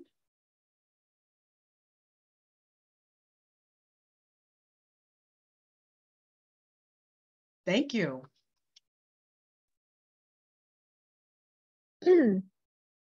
Hi, can you hear me okay? Yes, the floor is yours. Perfect. Thank you so much for having me. I'm uh, speaking you speaking with you today from uh, the University of Calgary in Alberta, Canada, and I'm going to tell you about um, uh, our, our project here incorporating the bioinformatic tool Benchling to build connections between PCR theory and experimental results in an undergraduate lab. So here I'm describing a fairly simple um, lab module that we're using in a large second year undergraduate genetics course. It has lectures and weekly labs. Um, this is in the Department of Biological Sciences with students majoring in everything from biochemistry to zoology. And the goal of this particular module was to help students connect molecular theory from the lecture um, with experimental results. And this was in the context of sort of primers, PCR, and restriction mapping. So this um, experiment sort of gives students their very first taste of any type of bioinformatics. Um, and it also gives students some agency over the interpretation of their PCR results that they obtain in the lab. And this can be challenging um, given the number of students and sort of uh, limited time and, and resources. So this is a typical diagram um, explaining PCR that I might use in the lecture. Um, and students can find it hard though to connect with, with what PCR is, what, what's happening based on these, these colored rectangles. So the instructor preparation for this was fairly minimal. Um, in, uh, in this case, I designed primers for students ahead of time. Um, as a non-programmer, I used um, a simple tool, the STD restriction site mapper, to design primers that amplified portions of genes with different numbers of restriction sites. So in our case, we had the enzyme band1 handy, um, I then generated a how-to guide and tutorial video to help students navigate Benchling, which is a free online sequence visualization platform. Um, in terms of the basic analyses we're doing here, other programs like, like SnapGene could be used uh, just as well. Um, but this particular lab mod module takes place over two lab periods. So in the first, students work with Benchling to map all four primer sequences. And so here they get practice annotating the primer binding sites, determining the size of the PCR product, and determining the numbers and the sizes of the restriction fragments they expect to obtain after band one digestion. So all of this is fairly um, intuitive and, and, fairly visual for students um, as they're using Benchling. So this interactive exercise is really useful because it helps students visualize where primers are binding. Um, it emphasizes ideas like reverse complementarity, um, more so than sort of the colored boxes in the PCR diagram from the previous slide. So in the wet lab component, students are given one of the four primer sets, but they aren't told which one, which gene it amplifies. Um, so students extract yeast DNA, they perform PCR with their unknown primer, uh, and they analyze it by gel electrophoresis. And they then need to interpret the banding pattern they got after digestion, relating it back to their expectations from their benchling analysis. So in this case, getting two, um, two fragments after digestion meant they had amplified with primers um, for HIS5, the gene HIS5, getting four restriction fragments meant they had amplified um, a portion of LYS2. So without having performed the benchling analysis themselves, students may not have had a good understanding really of what these um, band sizes correspond to. So students really enjoy using Benchling. Um, I get a lot of uh, students coming up to me afterwards asking if there are bioinformatics clubs they can join or, or other courses they can take to, to learn more, um, more of these skills. So from anonymous end of term feedback, students also mentioned that Benchling is really fun. They really enjoy using it and it really helps to um, solidify their learning. So this exercise takes very little prep time, uh, just designing and testing a few primers. It could be modified in countless ways depending on goals and timing and, and resources. Um, and I would like to further um, sort of explore how using programs like Benchling can be leveraged to help students visualize and really connect with um, molecular concepts, maybe with or without a wet lab component. So thank you very much for, for listening and thank you for the invitation.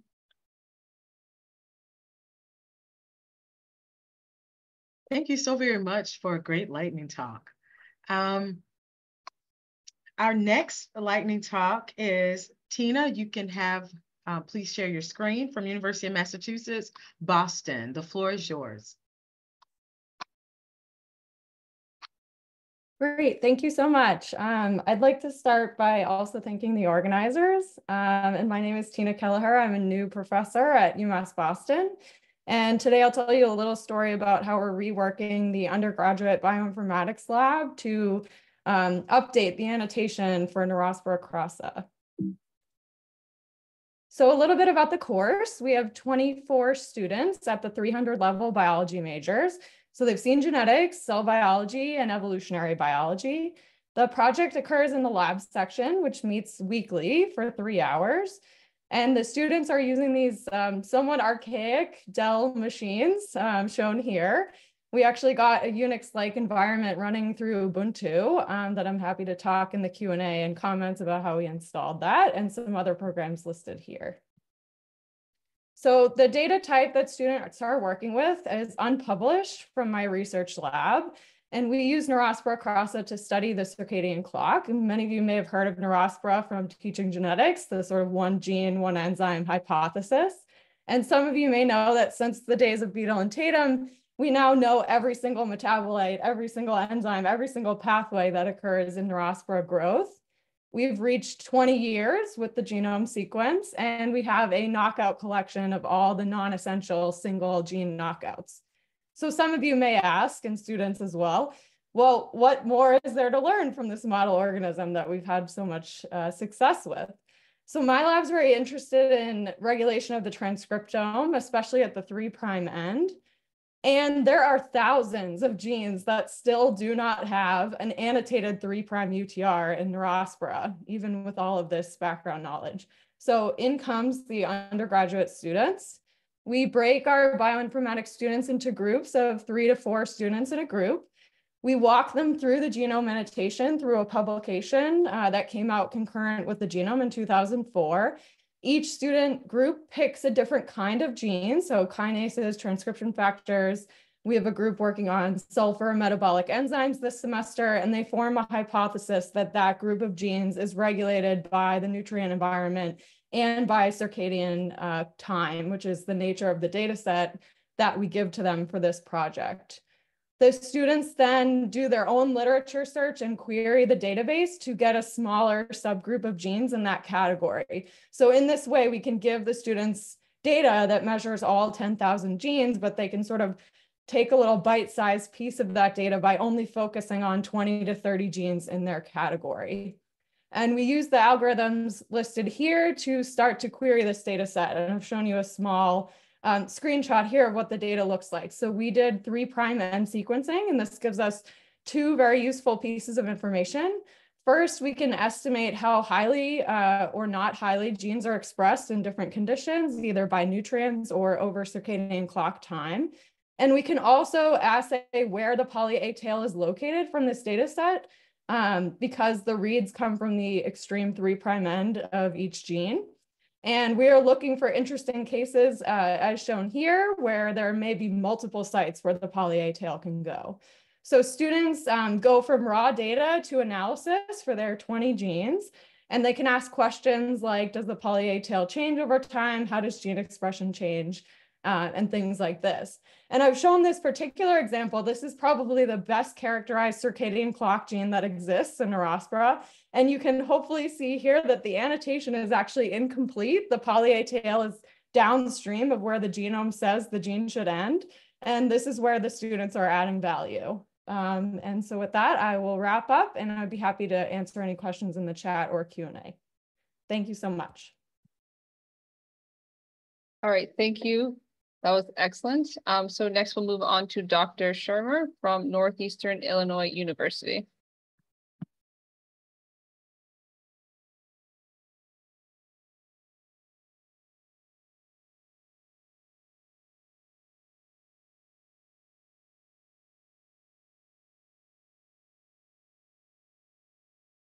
Sorry, give me one second. We had this sharing all worked out before and now my display settings are all messed up. There we go. I think you're all looking at the presentation now. Um, wonderful. So uh, good afternoon, everyone. Thank you so much for the invitation. I'm really excited uh, to be here and talk with you a little bit about a cure that I developed for the General Biology 2 classroom. Uh, I'm Aaron Schirmer. I'm a professor at Northeastern Illinois University, uh, which is a Hispanic serving primarily undergraduate institution located in the city of Chicago. And our General Biology 2 curriculum covers uh, evolution, generally covers evolution, uh, physiology, plant and animal diversity, and ecology. Uh, and while the plant diversity and ecology components uh, are sort of well represented in the lecture material in this course, uh, they were underrepresented in the lab. Uh, and so I developed a cure using sugar beets uh, to try to address this deficiency. And I also wanted to develop this cure because a, a lot of the cures that I was familiar with tended to target the upper level students. And I wanted to get students early in the major involved in authentic uh, research experiences. So the cure uh, is a fairly straightforward uh, experiment. We grew the sugar beets uh, in uh, control soil, which is just regular potting mix, and then soil with a, a fertilizer amendment. Uh, the students grew the plants uh, for four weeks, and through those four weeks, they measured the growth and then quantified the impact of fertilizer on plant growth. We then collected soil samples uh, from the root surface and extracted total DNA from those soil samples. We sent those samples out for metagenome sequencing, and then we used those metagenomes to quantify microbial diversity across these two groups. And so you might be asking yourself, uh, why uh, I chose sugar beets. Uh, one, sugar beets are really easy to grow uh, in the greenhouse or in the lab. Uh, sugar beets are also an important agricultural resource. About 50% of domestic sugar or US sugar is uh, from sugar beets.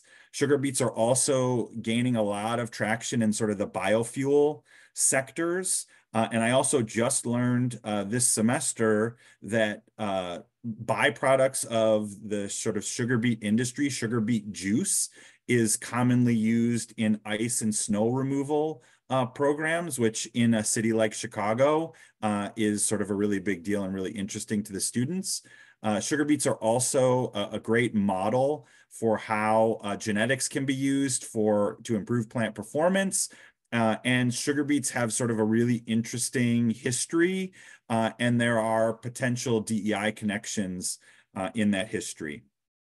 You may also be wondering how we do the microbial uh, micro the the metagenome analysis uh, and so for that we're using the DOE systems biology knowledge base or KBase for short uh, this is a free suite of sophisticated systems biology and bioinformatics tools uh, that if the students have a web browser, they can access this sort of extreme computing power to run these analyses. And I found that uh, KBase sort of gets around a lot of the command line issues that a lot of students suffer uh, suffer from, and it, that it's really easy to use and it's very scalable um, across uh, different classroom and laboratory settings.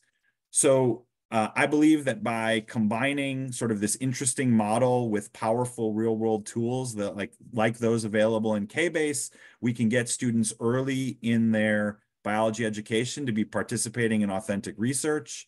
I, I also think that this raises uh, awareness of agricultural and bioinformatic researches, exposes students to alternative careers.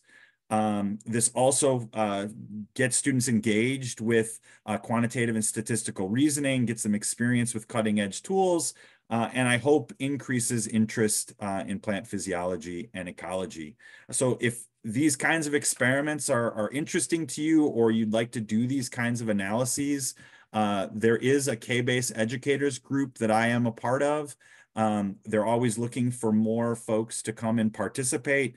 Uh, they have a lot of really tremendous resources and um, sort of workflows to do a, a, variety of different bioinformatic and systems biology um, analyses. And so if you're interested in that, you can click the QR code there and get some more information. Um, thank you all so much for your attention, and I'm happy to chat more about this experiment or, or some of the specifics during the Q&A.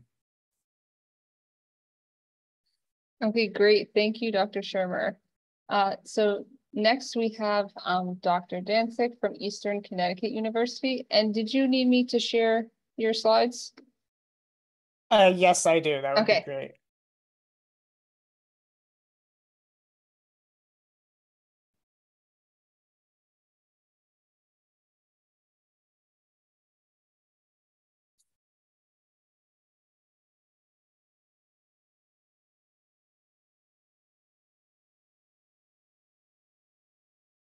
All right, thank you. Um, so my name is Garrett Dancik. I'm a professor in computer science at Eastern Connecticut State University, and I'm going to be describing work that I've done with my colleague, Amy Groth, uh, who's from the Department of Biological Sciences.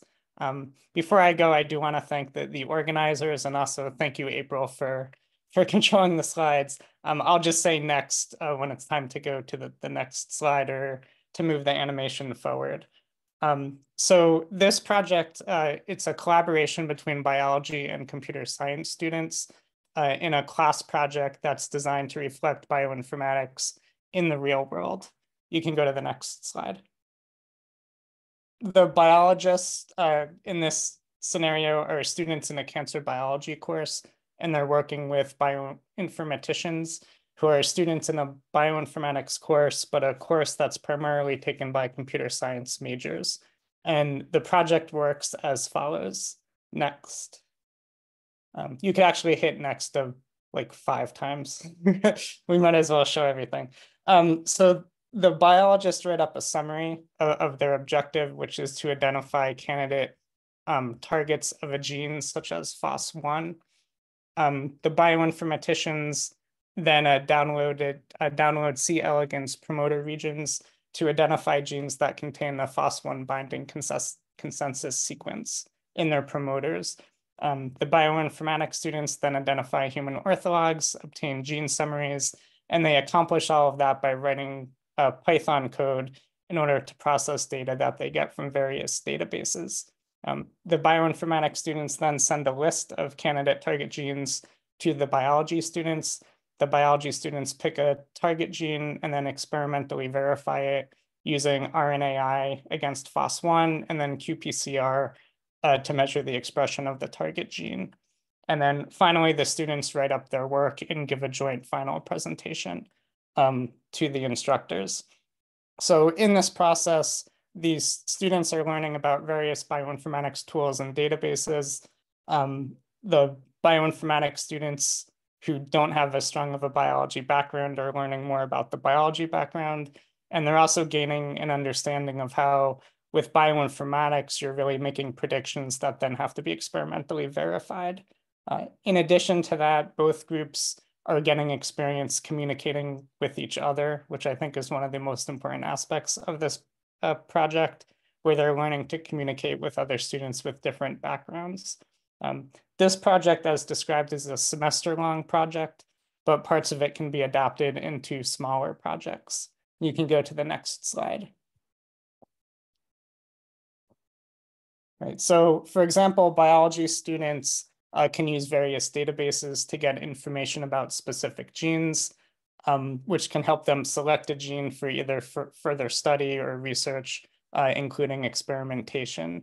Um, some examples include they could get gene summaries, find orthologs uh, using databases such as NCBI and Biomart. Um, you can hit next two more times. uh, the biology students can also get experience just with the communication with, with others uh, that don't necessarily have the, the biological background that they do. So they can request analysis from computer science students or possibly data science students. Those students can then write code to identify sequences with conserved uh, elements, uh, as well as code that can combine different sources of biological information.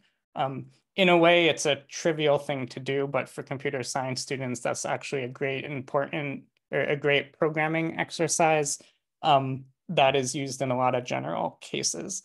Um, and the nice thing is that the CS students don't necessarily need a strong uh, background in biology as long as they're able to understand the what the task is. And so to, to wrap this up, I encourage biology faculty to work with computer science colleagues. I'm in computer science, so I might be biased, um, but I really think it's a it's a great way to develop projects that would mutually benefit students from both programs. So thank you, and I'm happy to answer questions in the chat or uh, answer questions during the Q&A. Okay, great. Thank you, Dr. Dancik. Uh, so next we have um, Dr. Mathur from Cabrini University. You can go ahead and share your screen. Okay, um, thank you to the organizers uh, for um, getting inviting me to speak. Um, I'm going to talk uh, about the Genome Solver project. Uh, this is a this was a NSF funded project, and now all the material that we have uh, is on QUBES. So thank you to QUBES for able for the ability to host uh, all of our stuff there. Uh, again, I put uh, our uh, our link on the chat in the chat, but if you want to scan that QR code, it'll be there uh, for my three slides, so you can always kind of connect with the group as well. Um, so I am Vinayak Mathur. I'm a assistant professor at Cabrini University, and then we have two of our collaborators, Gaurav Arora, who's going to be speaking right after me, uh, and then Anne Rosenwald, who was the lead PI on this project. So what are some of the opportunities uh, with the Genome Solver project? So what we try to work with are these um, publicly available genomic data sets. So um, both like NCBI and JGI, there is a lot of information uh, on there uh, that has been deposited and it is just waiting there for uh, all of you to kind of use with your students. Uh, we also try to, in our modules, try to use uh, freely available bioinformatic tools. So again, um, things like Muscle, Mega, progressiveMauve, uh, kind of making sure that there's no additional kind of cost burden to the students um, and kind of make these tools accessible. Um, and then the, the beauty of this is that you can get students involved in, in genuine research projects, right? So uh, we can either run uh, this uh, uh our modules as a, as a full course. So I teach uh, bioinformatics course where I use uh, all of our modules, which I'll show you on the next slide. But there's also an opportunity to kind of use uh, single modules as it kind of fits in your course. So if you're teaching a genetics course, uh, you could take uh, stuff from the from the Genome Solver resources and use it for class activities or uh, a way to kind of um, um, as a teaching tool for your students. So the beauty of these genuine research projects is, uh, especially with the stuff that we are doing, uh, I really like to emphasize that that you're kind of and people know this with bioinformatics, you're, you're really kind of um, hitting all these biology, stats, and computer science uh, kind of objectives. So if you have learning objectives or if you're looking at uh, quantitative stuff, uh, Genome Solver provides that opportunity to, in, to involve your students a little bit into stats. And I'll give an example of the computer science part and of course the biology. Um, and obviously, um, we want to do a bunch of hypothesis testing with our students so that it also gives you an opportunity to kind of design a, a, a research project um, where you where you get to test that. So my colleague, Dr. Uh, Gaurav Arora, who's speaking right after me, is going to tell you about some student projects that he has been uh, kind of uh, mentoring. Um, so you can identify projects that can complement your curricular and or research needs. Uh, I am at a very small university. We don't have a lot of uh, resources. So I use a lot of Genome Solver material uh, for kind of uh, as my research, but also using the CURE model and involving students uh, while you're teaching. So um, I basically want to emphasize today uh, our community science project um, and our Python pipeline. Um, we have our GitHub page, so github.com slash genome solver uh, where we have all our information kind of stored uh, in there. So um, again, it hits some of those computer science uh, aspects as well. So what is the workflow? What is the pipeline that we are talking about? So we are kind of interested in prokaryotic, prokaryotic genomes and some of our big research questions, which we pitch to our students is thinking about um, the questions of horizontal gene transfer, right? So how are phage genes um, kind of embedded in bacterial genomes? What are they doing there? What is the functionality? And maybe kind of trying to get into mechanism, which is a little difficult with just dry lab stuff. You kind of want to get into wet lab. So what we do, these are an example of the, workflow uh, that, it, uh, that is there. So module one, starting very simply, kind of introducing students uh, to BLAST, thinking about how you, you can search the database, where that information is found. Uh, we then kind of get into different uh, databases that are available where students can kind of access uh, the data. We then move a little bit into genome annotation. We have, and all of these modules have hands-on exercises built along with it. So there, uh, so you don't really have to kind of develop anything on your own. You just go into our resource list and take your take your PowerPoint and the materials that are kind of developed already for you, or you can always use your own material and then use our exercises uh, in your classroom. Um, then once we kind of let the put the groundwork, we start with the community science project, which involves with search using a phage gene or a protein and searching for that in a bacterial database, trying to find evidences of horizontal gene transfer. Um, you once you find your evidence of, of gene transfer, then you can start your data analysis. Um, Here's the, the cool computer science aspect. We have a Python pipeline that we have been developing to kind of automate the process. So kind of uh, increasing our data output. And then finally, we have our uh, four modules where we do the data analysis with comparative genomics, phylogenetics, and synteny. So again, all these materials are available on our resource list. Everything is on QUBES. And the beauty is that if you don't want to do this whole pipeline and you just want to pick uh, certain things in there, that is also an option for you. So I've put in my email address at the bottom over here, and then I'll be happy to answer any questions later on as well. Okay, great. Thank you, Dr. Mathur. Uh, next, we have Dr. Arora from Gallaudet University. You can go ahead and share your screen. Okay, uh, can you all see my screen? I'll just put it in um, presentation mode. So all okay with the screen? Okay, so I realize I'm uh, strategically put towards the end, and so I'm right between you and to you know the almost the end of this conference on a Friday afternoon. So I'll just get into what I'm going to be talking about. So I'm Gaurav Arora. I'm an associate professor of biology at Gallaudet University. Those who are not familiar with Gallaudet University, it's a university whose mission is to educate deaf and deaf and hard of hearing and deaf blind students so 85% of our population, student population is deaf, deaf, hard of hearing and deaf blind students. So as uh, Vinayak uh, talked a little bit about the Genome Solver project overall, I'm going to be talking about the implementation of this in the classroom. And I do have my the QR code up there. If you want to go to my website, it also has the uh, you know link to uh, Genome Solver. So uh, as Vinayak mentioned, we do have a number of modules uh, associated with the Genome Solver project. And I implemented this in my uh, fall 2022 bioinformatics class, which was uh, cross-listed along with the IT course as well as the data science course. And uh, most of the students were undergraduate, junior, seniors, and a mix of public health, biology, and IT um, majors. So here was the methods that we used in this class. We, you know, like Vinayak mentioned, we do a database search. We do homology search using BLAST. We did the uh, multiple sequence alignment. We did, we created phylogenetic trees. We did synteny analysis to verify HGT. But I want to step back and say that I did take all the genome solver material And I did test it before I implemented in the class because when we talk about genome solver, there are a number of uh, viral proteins which we use, but I tested them to make sure that we could actually get some kind of hypothesis driven questions for the class. So I took accession numbers associated with some, um, with a virus.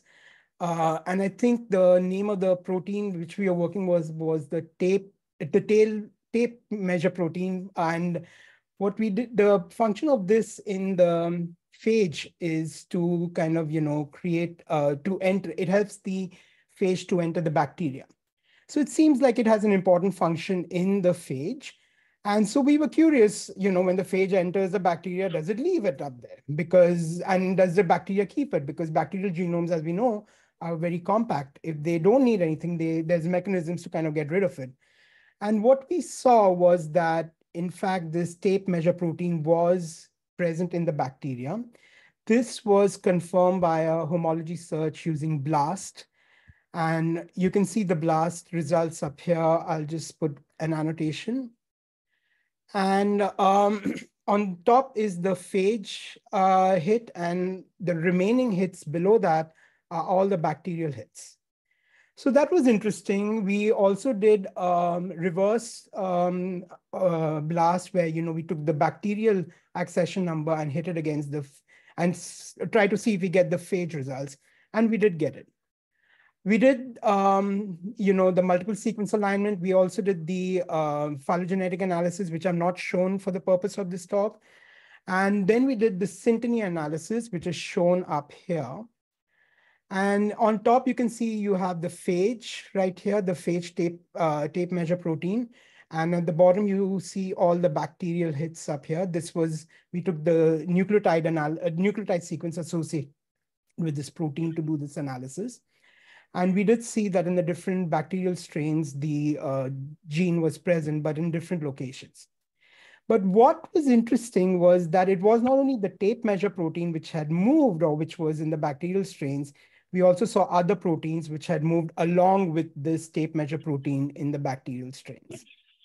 And um, this was, um, this class goes for 14 weeks, but we spent 10 weeks on it. And I had to step back after every three weeks to remind the students where we were. And then we also try to find evidence of expression in uh, of this uh, gene in uh, different bacterial strains. So we did find some RNA-seq studies where the gene was expressed. The we I then ran this, uh, you know, took the data and gave it Hola. a study to some students. But what was more interesting was the documentation of the American Sign Language um, signs that we used to kind of, you know, discuss different concepts in the class. And with that, um, I would end my talk. I would uh, need to remove all these annotations. But this is the last slide, and I'd be happy to answer any questions at the end. Thank you, Dr. Orr. Uh, so now we can pass it to Sean for to moderate the, the Q&A for the lightning talks. All right, thank you, April. Those are some really good talks. Thank you very much, everybody. Um, I do have some questions. I think there has been some discussions going on in the chat, uh, but also I'll, I'll repeat some of these questions just in case you haven't been following along in the chat. If you have more questions for any of our lightning talk uh, presenters, please uh, feel free to put those in the chat as well. So first question uh, was for Cole, if Cole is here. Uh, how much instruction do you give your uh, students regarding how to use cBioPortal? Oh, good question. I'm glad that was asked. Yeah. Um, so this was a really small project at the end of the semester. And so I did about like a 25 minute lecture going through how to use it, like in a tutorial. And for the rest of like the three hours worth of lab, um, I would walk around, help students one on one, and they would get help from each other. And they really just had a three hour period to come up with their project as well as time outside of lab, office hours, and then they presented them five minutes apiece at the next lab session. Thank you. Excellent. Thank you. Uh, Tina, um, if you're here, um, someone was interested in hearing about your Ubuntu setup, and I know uh, they had asked you, I think in the chat, but could you fill everybody in on that? Yeah, sure. So um, we have an IT department that will install all the programs that we need. So I just sort of contact them ahead of time, a couple weeks ahead of the course to tell them what we need. Um, and I asked about a Unix-like environment, thinking we would have to do sort of a virtual machine or Cygwin or something that can be kind of heavy to install. But it turns out Windows 10 and beyond, there's something called WSL, which if you Google WSL Unix for um, Windows, you can find it. Um, and it seems very easy to do. As I said, IT kind of installed it, um, but I uh, monitored the process and it, it comes up just like a command line on a Linux or a Mac um, and it works great. So I'd recommend WSL. Excellent, thank you. One more for you. How do you teach about annotation? You mentioned a paper, if I heard it correctly.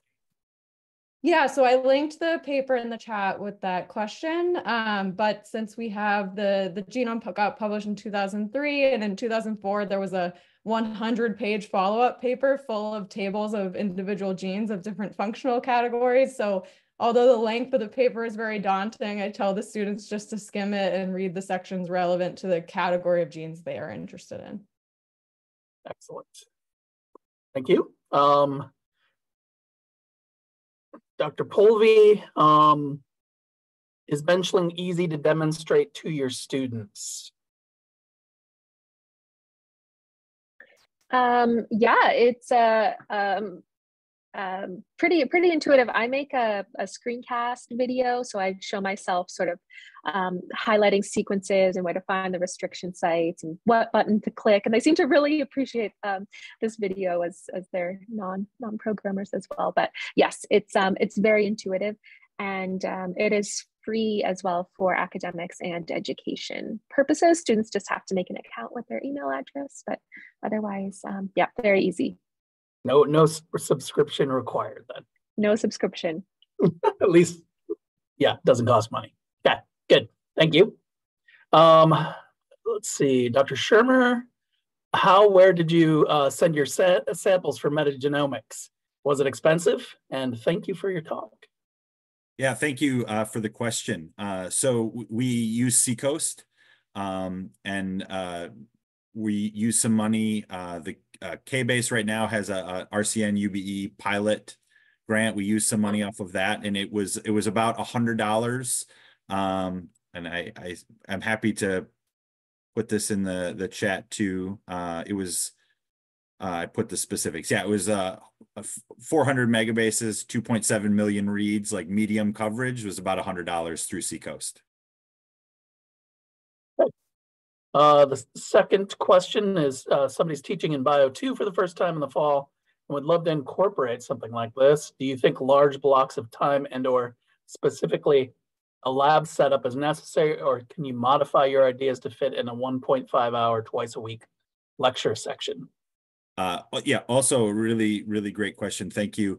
So I, I think as far as the sort of plant growth, plant measurements, that is very easy to do in the the 1.5 hours. So so we have uh, once a week, two hour and 50 minute lab blocks, uh, but I'm only spending the first 45 minutes, hour, where the students are actually doing the measurements and, and getting their data together for the graphs. Um, so I think that part would be very easy. Uh, the DNA extraction, depending on how efficient your students are, um, could take a little bit longer. Um, I have, we do the soil extraction on one day and then uh, flash freeze those soil samples and then bring them back the following week to actually go through and, and use the kit. Um, uh, we use the ZymoBIOMICS kit, which uh, folks talked about before. Zymo is also really great. They will give you lots of free samples. So if you and a couple students send them an email, you can easily get, you know, 15, 20 uh, reactions. Um, but uh, so so again, I think that could be done. The other nice thing about uh, KBase as far as the analysis goes, so you can do as much or as little as you want. Uh, and so it can almost be like a cooking show, like, hey, here's what goes in, and voila, here's what the output looks like. Um, and so I think, again, that would be really easy to do within a 1.5 hour um, class period. Excellent. Thank you very much. This is for Dr. Dancik. Uh, so somebody wanted to know if BioMart is open source resource or do they need a subscription? Um, uh, you do not need a subscription for BioMart. Thank you. Thank you. Excellent. And this is uh, for, I think, probably um, our last two speakers, but it's specifically addressed to Dr. Arora. Um, why do you think that this is HGT, but not just lysogenic integration of the phage genome into the bacterial chromosome? So I think uh, from some of the studies that we published earlier uh, on, you know, this same mechanism, we did see, we thought it was lysogenic, but then we did see, you know, some function associated with these viral genes in the bacteria. And lyso, I mean, lysogenic processes enable horizontal gene transfer. So we are also, you know, looking at that. So, I mean, it could be that, but based on what we've seen on our previous publications, where, you know, viral genes were left in the bacteria, we associated function with that. So based on those studies, we suspect this is HGT. Okay, good. And then people are interested in the ASL documentation oh, yes. Um, as well. Yeah, so uh, I just forgot to mention that this uh, past year, 2023, we are celebrating the STEM ASL, the year of the STEM uh, lexicon, ASL lexicon. And there's a big conference in March at Gallaudet University. Um, I, as a hearing person, uh, cannot publish this. I need to get this, you know, through my deaf colleagues before I, you know, get this published or documented. But if for anyone interested, we do have um, the STEM lexicon um, website, which I put on the, the, the conference. And after that, they will publish uh, all these lexicon on uh, and this is an NSF funded project, so they will be publishing these lexicons after this conference. Awesome. Well, thank you all very much. Uh, appreciate all the all the good questions and the and the great talks.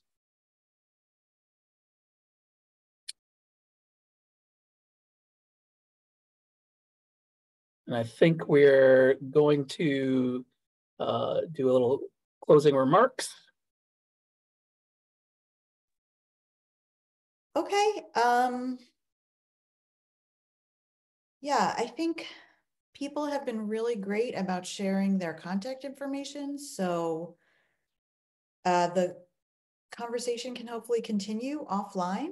Um, it's late here on the East Coast, so probably we should let you go pretty soon.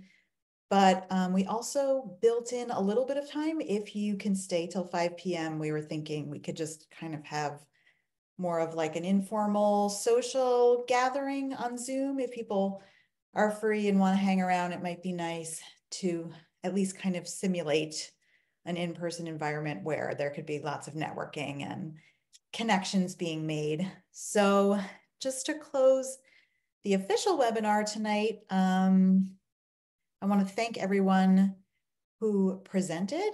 The talks were amazing. I um, put so many new bookmark tabs on my Firefox, and I hope that I have time to carefully go through all of them. Um, this was really, really informative. So thank you everybody who presented. I also want to thanks, give a big thanks to all the participants. We had close to 200 participants, so that was like a big success. And I want to just remind everybody that BREWMOR is a totally grassroots organization. We all just volunteer our time because we find it really gratifying and enriching to connect with other, educators across the country. The group was started by the yeast genetics community in 2020 during the pandemic to provide online resources for people teaching in the Zoom environment during the pandemic. So that has its drawbacks because we don't ever see each other in person, but it also is awesome because we're all over. We're multinational. You know, we've got US and Canada at least, if not other countries represented. And um, you know, we we always want to keep in touch and have new members. So I'm gonna put our website again in the chat. If you haven't signed up for our mailing list, please sign up. We also every year solicit new steering committee members. So it would be great if you want to have extra time and contribute extra brain power to this organization and our mission of bringing experiential learning to the undergraduate classroom. That would be awesome. And I'm going to send everybody a post uh, webinar survey form to fill out. And if you could just take, you know, a minute or two to fill that out and let us know what type of programming you'd like to see in the future, that would be amazing for all of us too. So I'm so happy we did this and thank you everyone for coming.